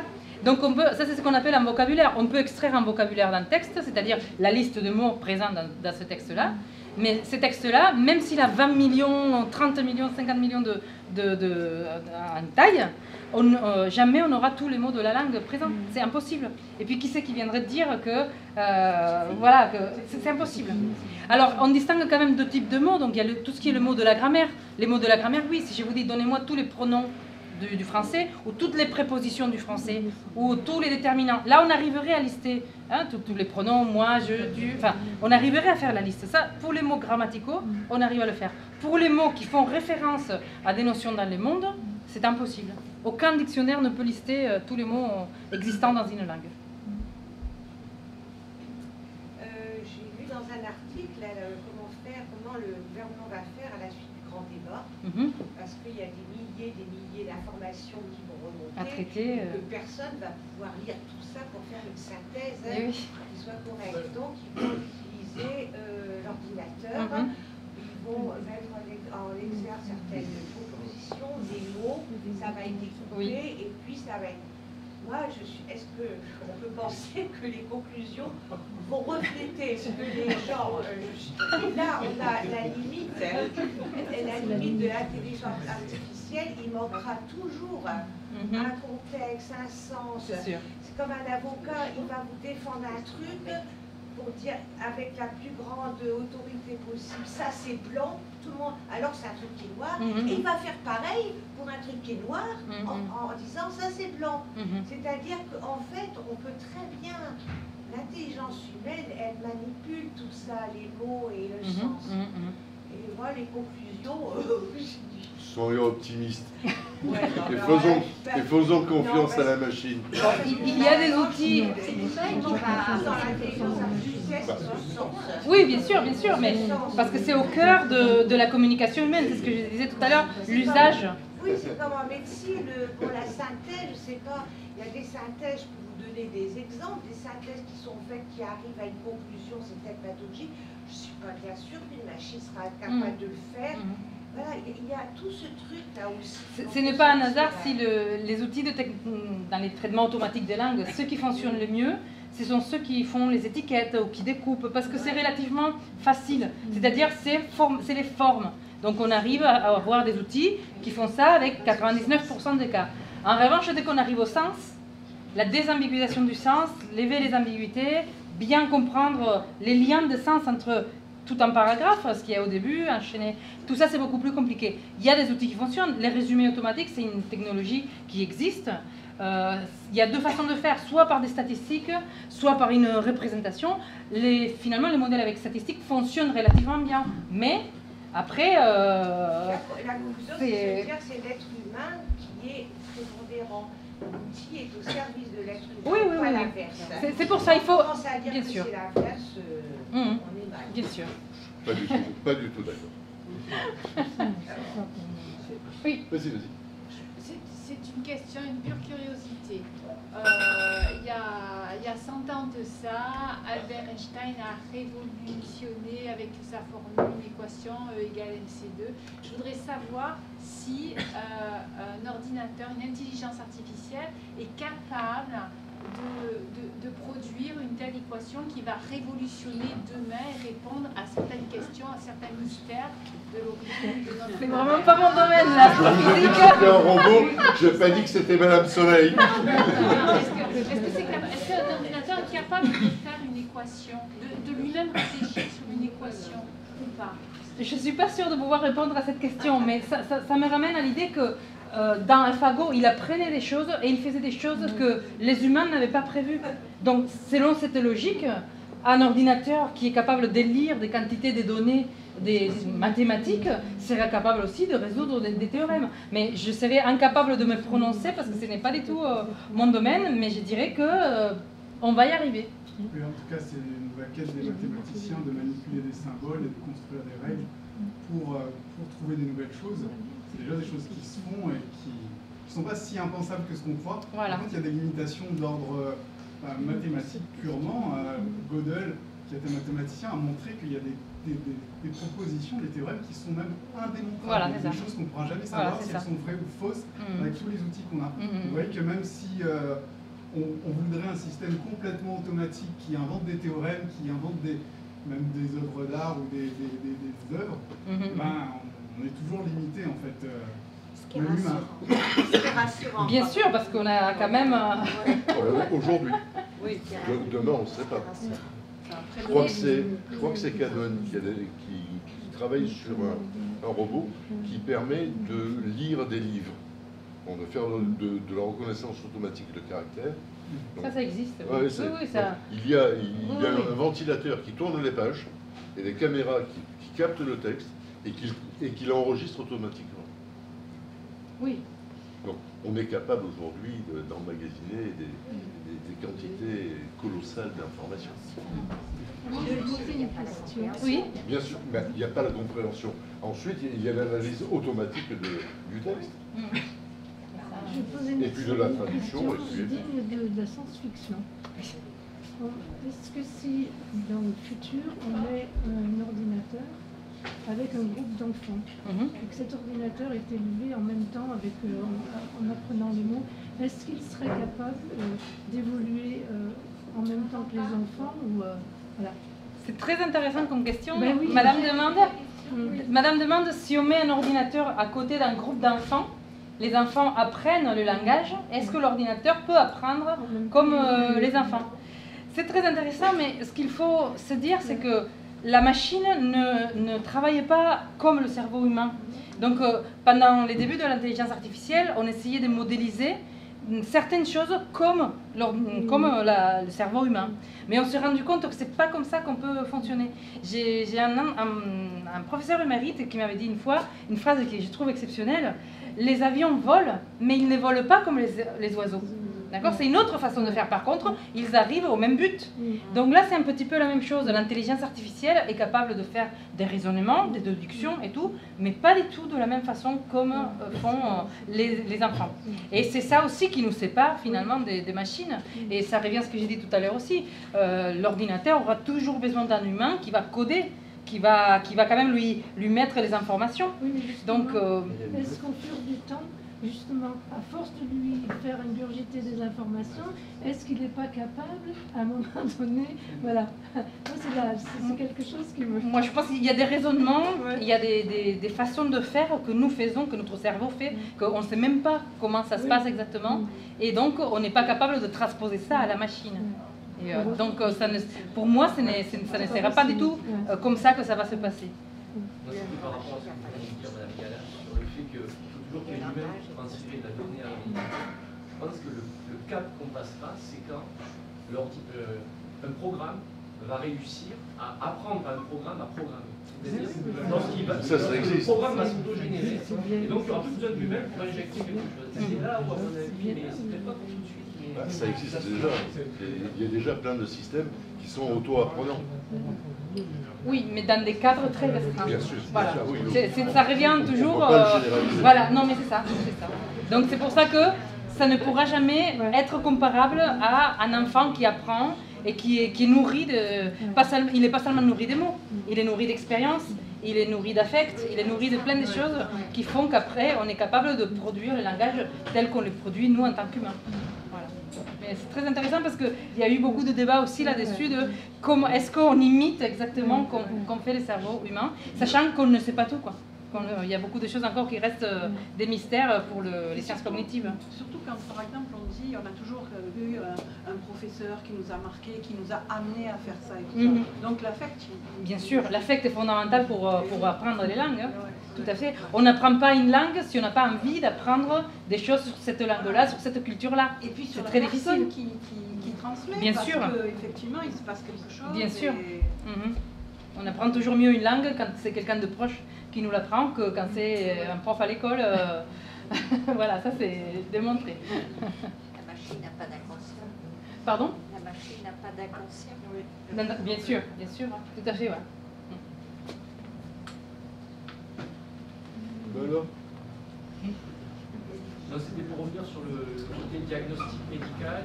Bon, c'est pas trop le langage. Diagnostic médical, le fait de dire, bon ben, on ne laisse pas une machine le fait de prendre une décision, même si le diagnostic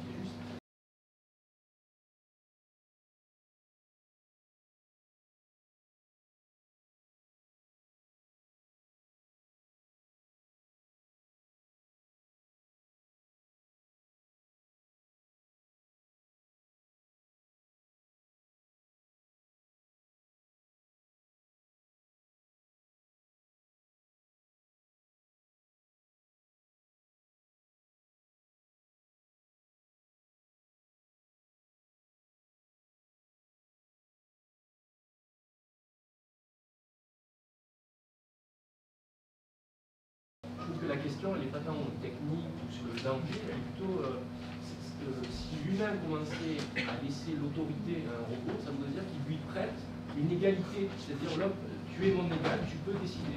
Donc ça voudrait dire qu'on intégrerait des robots comme des citoyens qui pourraient avoir une décision. Donc je pense que le problème, au final, sera une fois de plus humain. C'est-à-dire que ce sera pas un problème technologique ou un problème de, de danger technique, c'est qu'une fois de plus, l'homme aura pris une décision euh, qui peut-être effectivement lui posera des problèmes. Mais reporter ça sur la machine qui est un danger, je pense que c'est un mauvais spectre. Le problème, c'est que je pense que c'est nous. Est-ce qu'on ne peut pas parler, enfin, c'est revenu à, à, plusieurs reprises, finalement, euh, la machine, enfin, les programmes, euh, surtout les outils d'aide à la décision, on fait énormément de domaines. Oui. Il y a plein de choses que nous, on ne peut pas forcément anticiper en, en, en, en une seconde, mais la machine peut nous proposer possibilités, quel que soit le domaine, et donc nous aider à prendre une décision beaucoup plus rapidement, mais c'est l'homme qui décide, c'est pas la machine. Oui, je pense que c'est dans cette optique-là qu'il faut concevoir les machines, oui, bien sûr. Bien sûr. J'ai participé à une conférence où une dame, la personne dit est-ce qu'un jour les robots vont aller à l'école, chercher nos enfants, leur donner le bain, leur faire faire les devoirs, leur raconter une histoire, les faire manger? C'est-à-dire qu'il y a une part, c'est ce que j'ai répondu, mais il y a une part de l'humanité qui est prête à céder ses prérogatives humaines. Et je pense que sous la pression commerciale, un jour ou l'autre, on pourra dire ben, prenez tel programme, etc., il va tout faire pour vous. Et il y aura des gens qui sont prêts à accepter. C'est là où l'éducation aussi, bien sûr. Et oui, oui, tout à fait, absolument. Oui, oui, oui, on, observe, on observe bien la, nomination de la machine vers l'administré. Si vous ne remplissez pas correctement le, le, le formulaire, eh jamais vous pouvez conclure la session que vous avez entamée. Donc là, c'est bien la machine qui décide si vos réponses sont complètes et satisfaisantes. Donc déjà, on a été rattrapé. Par contre, je peux ajouter la machine dans ces cas-là. Oui. Par contre, le fonctionnaire, je ne pouvais pas. Mais la machine, je peux l'injurier copieusement. Bah, oui, fonctionnaire aussi. Mais sinon, le fonctionnaire, de temps en temps, réagissait. Alors que la machine, tu la débranches et si tu as pas en tout de Sur euh, euh, je sais que ma fille, l'autre jour, s'en amusée à faire, euh, elle a dit tu m'emmerdes, machin, tout ça. Et on lui a répondu, mais pourquoi vous nous parlez comme ça? Oui, ah bon, oui, oui c'est pas enregistré. Oui, parce qu'il y a peut-être des mots qui sont repérés comme dans un registre. Euh, voilà. Oui, oui, oui. Dans, dans tous les cas, voilà, moi je pense que la machine, c'est toujours une aide, mais pas seulement dans les technologies du langage, dans tous les domaines. On parlait d'aspirateurs tout à l'heure, on, peut parler de, robots qui vont nous aider, effectivement, qui vont apporter des solutions, parce qu'ils font les travaux plus vite, plus efficacement. La machine ne se trompe pas. En général, nous, on peut se tromper, on est des humains, et ça, ça arrive souvent. La machine ne se trompe pas, donc euh, ça, c'est des aides. C'est des aides. C'est pour ça que les Américains ont arrêté le projet euh, au niveau de la justice ont fait une intelligence artificielle où un noir avait beaucoup plus de chances, je ne sais plus le terme, d'être mis en prison par rapport à un blanc. Et c'est la machine elle-même qui se formait elle-même au fur et à mesure. Mais ça, ça dépendait des exemples qu'on lui donnait. Et donc, du coup, il y avait un déséquilibre avec les exemples. Et voilà. Oui, oui. Oui, à partir des données qu'on lui a données. C'est ça, c'est ça, ça fait rien même. Ces données ne sont pas forcément, ne, ne sont pas complètes mmh, par tout à fait. Tout à fait. Euh, alors euh, on prend un risque. Bien sûr. Ça ne peut mmh. jamais être complet. Ça ne sera mmh. jamais complet les données. Parce qu'à l'hôpital, on dit. Euh... Au fond là-bas. En fait, moi, je voulais juste ajouter un point par rapport à la question de tout à l'heure. Par exemple, si dans une classe, on mettait en fait euh, des enfants avec une machine, et du coup, la machine, est-ce qu'elle apprend euh, en parallèle en fait de la même façon qu'un enfant Finalement, on n'y arrive pas. Alors en fait, pourquoi je pense Parce qu'un enfant, en fait, un humain en gros, euh, a besoin peut-être de pas vraiment de trop d'exemples en fait. Et la machine, c'est ça le, je dirais un petit peu la faiblesse, c'est qu'on a besoin plutôt à tendance en fait la machine à avoir beaucoup plus d'exemples pour apprendre mieux et à retourner de très bonnes performances. Et justement actuellement, par exemple, si je prends l'exemple tout à l'heure, par exemple euh, les ressources qui proposent euh, des synonymes désambiguisés ou des choses comme ça. Euh, pour qu'une machine en fait arrive à désambiguiser euh, facilement de manière assez efficace, bah, en fait elle a besoin d'avoir appris beaucoup d'instances désambiguisées en sens en fait. Et du coup ça, pendant plusieurs années, par exemple, au niveau du traitement automatique des langues, des chercheurs ont poussé en fait le, travail de recherche à proposer des corpus annotés sémantiquement. Mais ça, ça a été par exemple fait pour l'anglais. Alors pour voir ça pour toutes les langues, c'est un travail très coûteux et ça demande beaucoup de temps. Et du coup, euh, ce que les chercheurs font actuellement, c'est que euh, euh, ce qu'on appelle en fait un apprentissage semi-supervisé, c'est-à-dire en fait on donne à la machine deux petits exemples, c'est-à-dire dizaines, vingtaines, et en fait, elle va, à partir de ces exemples et à partir d'une désambiguisation efficace, on essaie d'apprendre en fait d'autres exemples. C'est-à-dire d'une manière vraiment semi-automatique. C'est ça. C'est ça. Je voudrais faire une petite remarque.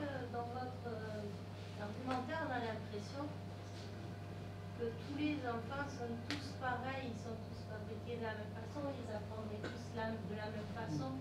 Et je pense que euh, quand on met euh, plusieurs enfants dans une même salle de classe avec une machine ou pas, euh, c'est bien l'expérience qu'ont tous les enfants, on n'a pas retenu la même chose, on n'a pas appris la même chose. Même ici, vous partirez tous à la maison avec des, des points différents. hein. Ils sont tous différents. Oui, oui. Parce qu'on a tous un vécu, on a tous des expériences, et chacun va capter euh, une chose, et au niveau des enfants, c'est exactement la même chose. Et c'est ce que je disais tout à l'heure, que de, de toute façon, il y, a, il y a quand même des propriétés qui sont inhérentes à l'humain, et que c'est difficilement transposable à la façon euh, que fait la machine. C'est l'exemple de l'avion et l'oiseau. hein. Ils vont tous les deux arriver peut-être au même but, mais de façon vraiment très très différente. Ça peut bloquer aussi. Bien sûr, ben, les humains aussi peuvent bugger. oui, oui, oui. Est-ce qu'elle a autant de, connexions Pardon? La machine, est-ce qu'elle a autant de connexions que nous, on a au niveau des neurones? Ah ça, euh, ça dépend, ça dépend les machines et ça dépend les personnes aussi. Finalement, ouais. ouais, ouais. On général ça, mais c'est pas vraiment ce qui est important en. C'est, euh, non, non, voilà. Le calcul, c'est, ça, ça se fait de façon différente. Voilà. Tout à fait. Tout à fait. Pas d'interconnexion.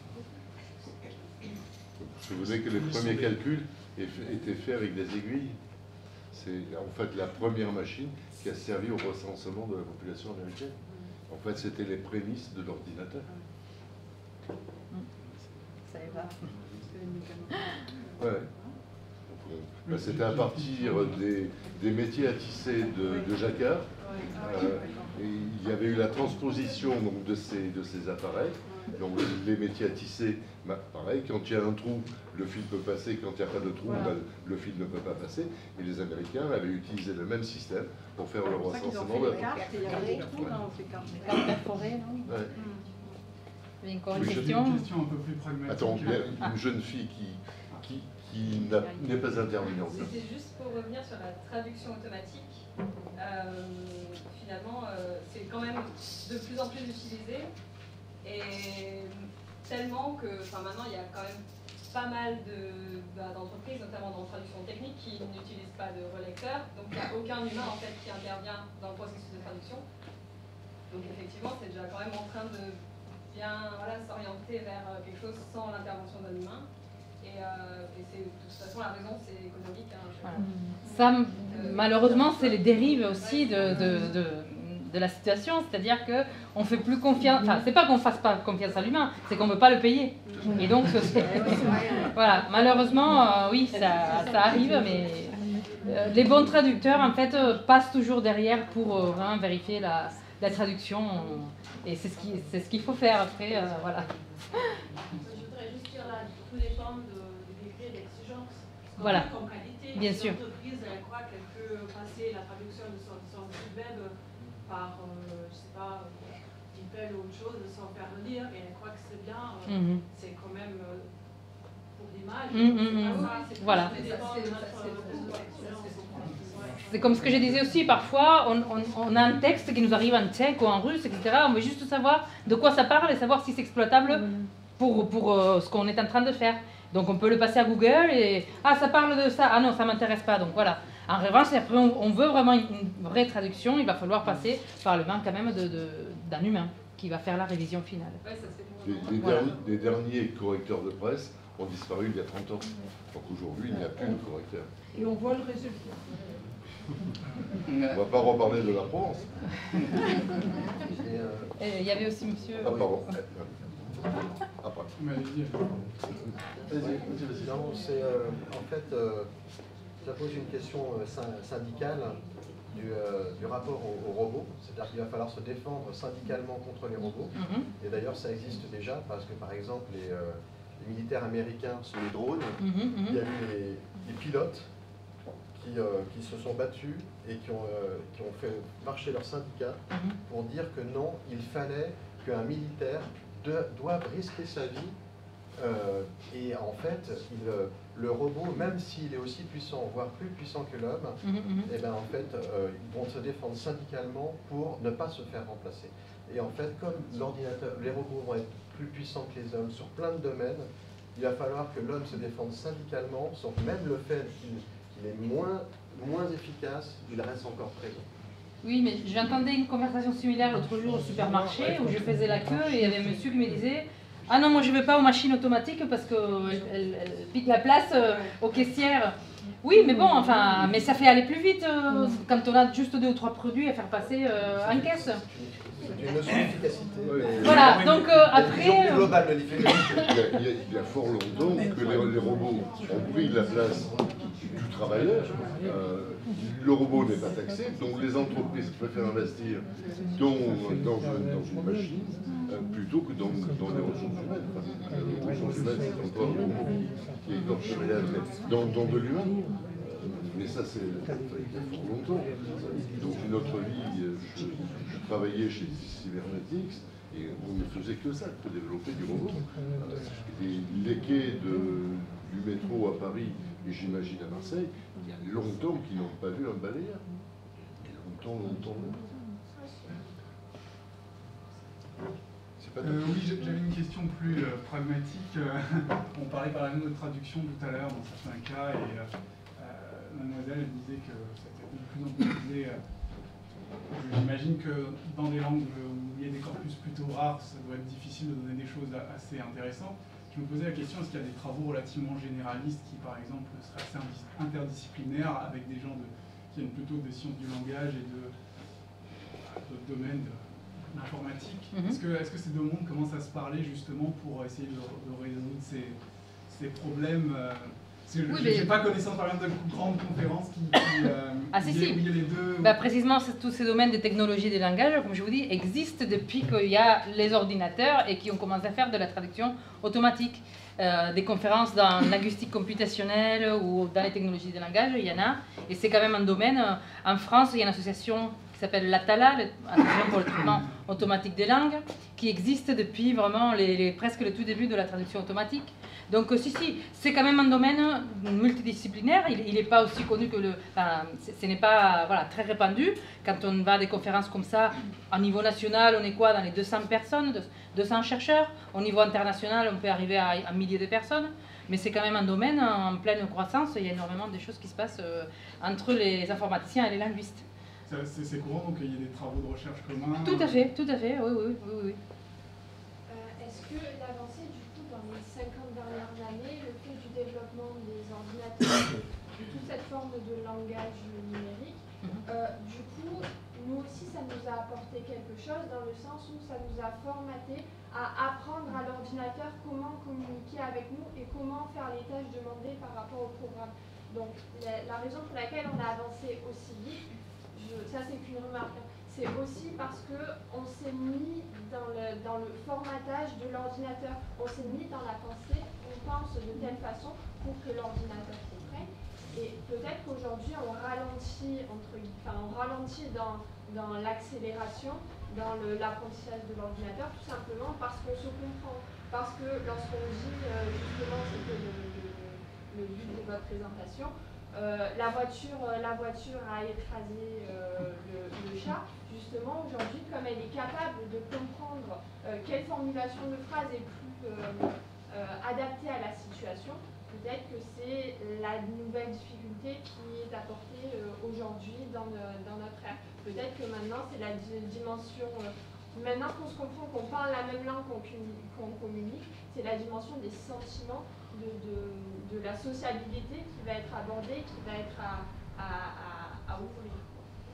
Oui, c'est ce que je disais, tous ces aspects liés donc à l'affect, au sentiment, euh, à donc euh, tout ce que j'ai montré sur la pragmatique, le fait qu'on dit des choses avec de l'ironie, avec la transgression, tout ça, ce sont des choses qui sont très difficiles à modéliser. Et euh, comme je disais, dans les années 90, on a commencé à faire, 1990, on a commencé à faire des outils des traitements automatiques des langues qui ont traité voilà, le découpage des mots, l'étiquetage, l'analyse syntaxique. Il y a beaucoup, beaucoup d'outils, de ce qu'on appelle des parseurs, des analyseurs, syntaxiques, qui fonctionnent avec une très bonne euh, qualité. Ils produisent vraiment des résultats euh, vraiment bluffants presque. Mais dès qu'on passe à la partie sémantique, au sens, aux intentions, etc., là, ça devient très, très compliqué. Et euh, comme disait euh, Mokhtar au fond de la salle, donc, euh, comme on n'a pas non plus de corpus à noter, parce que c'est très difficile d'annoter les sens des mots, d'annoter les intentions. Voilà. Donc euh, forcément, les machines auront aussi plus de mal à apprendre parce qu'ils n'ont pas les informations nécessaires. Et puis il y a la variabilité, le fait qu'on utilise la même phrase dans différents contextes pour dire des choses très différentes. Donc comment la machine va savoir comment comprendre cette phrase-là sans tenir compte du contexte ou euh, sans avoir toutes les informations implicites. Je ne vais pas parler d'implicite, mais il y a énormément d'implicites. Si on dit euh, je veux manger au restaurant avec mon copain, ou je dis je veux manger, je veux manger un pain au chocolat, dans le premier cas, je veux manger au restaurant implique tout un cadre, implique je vais aller dans un lieu, je veux m'asseoir, je veux être servi, je veux commander. Alors que dans le deuxième cas, j'utilisais exactement le même verbe, et là, il n'est pas question de s'asseoir, d'être servi, etc. C'est euh, toute une autre chose. Donc, le même verbe véhicule des notions très différentes, et nous, en tant qu'humains, on le comprend tout de suite. Pour faire comprendre à la machine toute cette information-là, c'est beaucoup plus euh, difficile, et c'est un peu les limites, les limites de, de, la technologie par rapport au langage. Oui, puis entre ce qu'on dit à, Toulouse ou ce qu'on dit à Marseille, Ça oh aussi. putain, la chaîne elle s'est fait écraser. Et à Marseille, on dit oh, un peu cher. Euh, non, c'est que sur cette notion d'implicite, l'implicite lui-même, il a une logique. Mhm. Et en fait, euh, théoriquement, il n'y a pas de raison que l'ordinateur arrive jusqu'à comprendre ces implicites-là. Il n'y a pas de raison. Il n'y a pas de raison. Mhm. C'est juste une question de complexité, c'est pas une question de. Oui, oui, mais voilà, c'est une question de complexité. Et donc, comment on arrive à rentrer cette connaissance, euh, de, voilà. de donner cette connaissance ou faire apprendre cette connaissance à la machine? Parce que maintenant, on raisonne plus en termes de voilà d'apprentissage. Par rapport à la, à la phrase qui soulève la, Mhm. par rapport à la phrase qui euh, soulève une particularité qui se retrouve dans le langage, qui est de chercher à interpréter le monde et pas d'en être un miroir. Mhm. Et euh, qui, va être du coup tout ce qui est l'ordre bah, d'une volonté propre, on, identifie les autres tout ça et les phrases parce que euh, on comprend un peu leur volonté, on comprend avec un peu la nôtre et tout ça. Et du coup, je me demandais, est-ce qu'il y a des, des, recherches? Parce que, par exemple, sur le jeu de Go, le, le, robot il est capable d'arriver à, un point, mais c'est parce qu'il a un objectif précis qu'il mhm. lui a donné, qui est de gagner la partie. Mhm. et, euh, et, du coup, je me demandais, est-ce qu'il y avait des, recherches pour euh, des robots et leur propre volonté, enfin un, truc où c'est eux qui définiraient leur objectif ou des choses comme ça je ne fais pas des travaux en robotique, donc je ne peux, pas, je peux pas vous dire, mais euh, effectivement, en tout cas, c'est quelque chose qui, qui, qui soulève beaucoup de questions.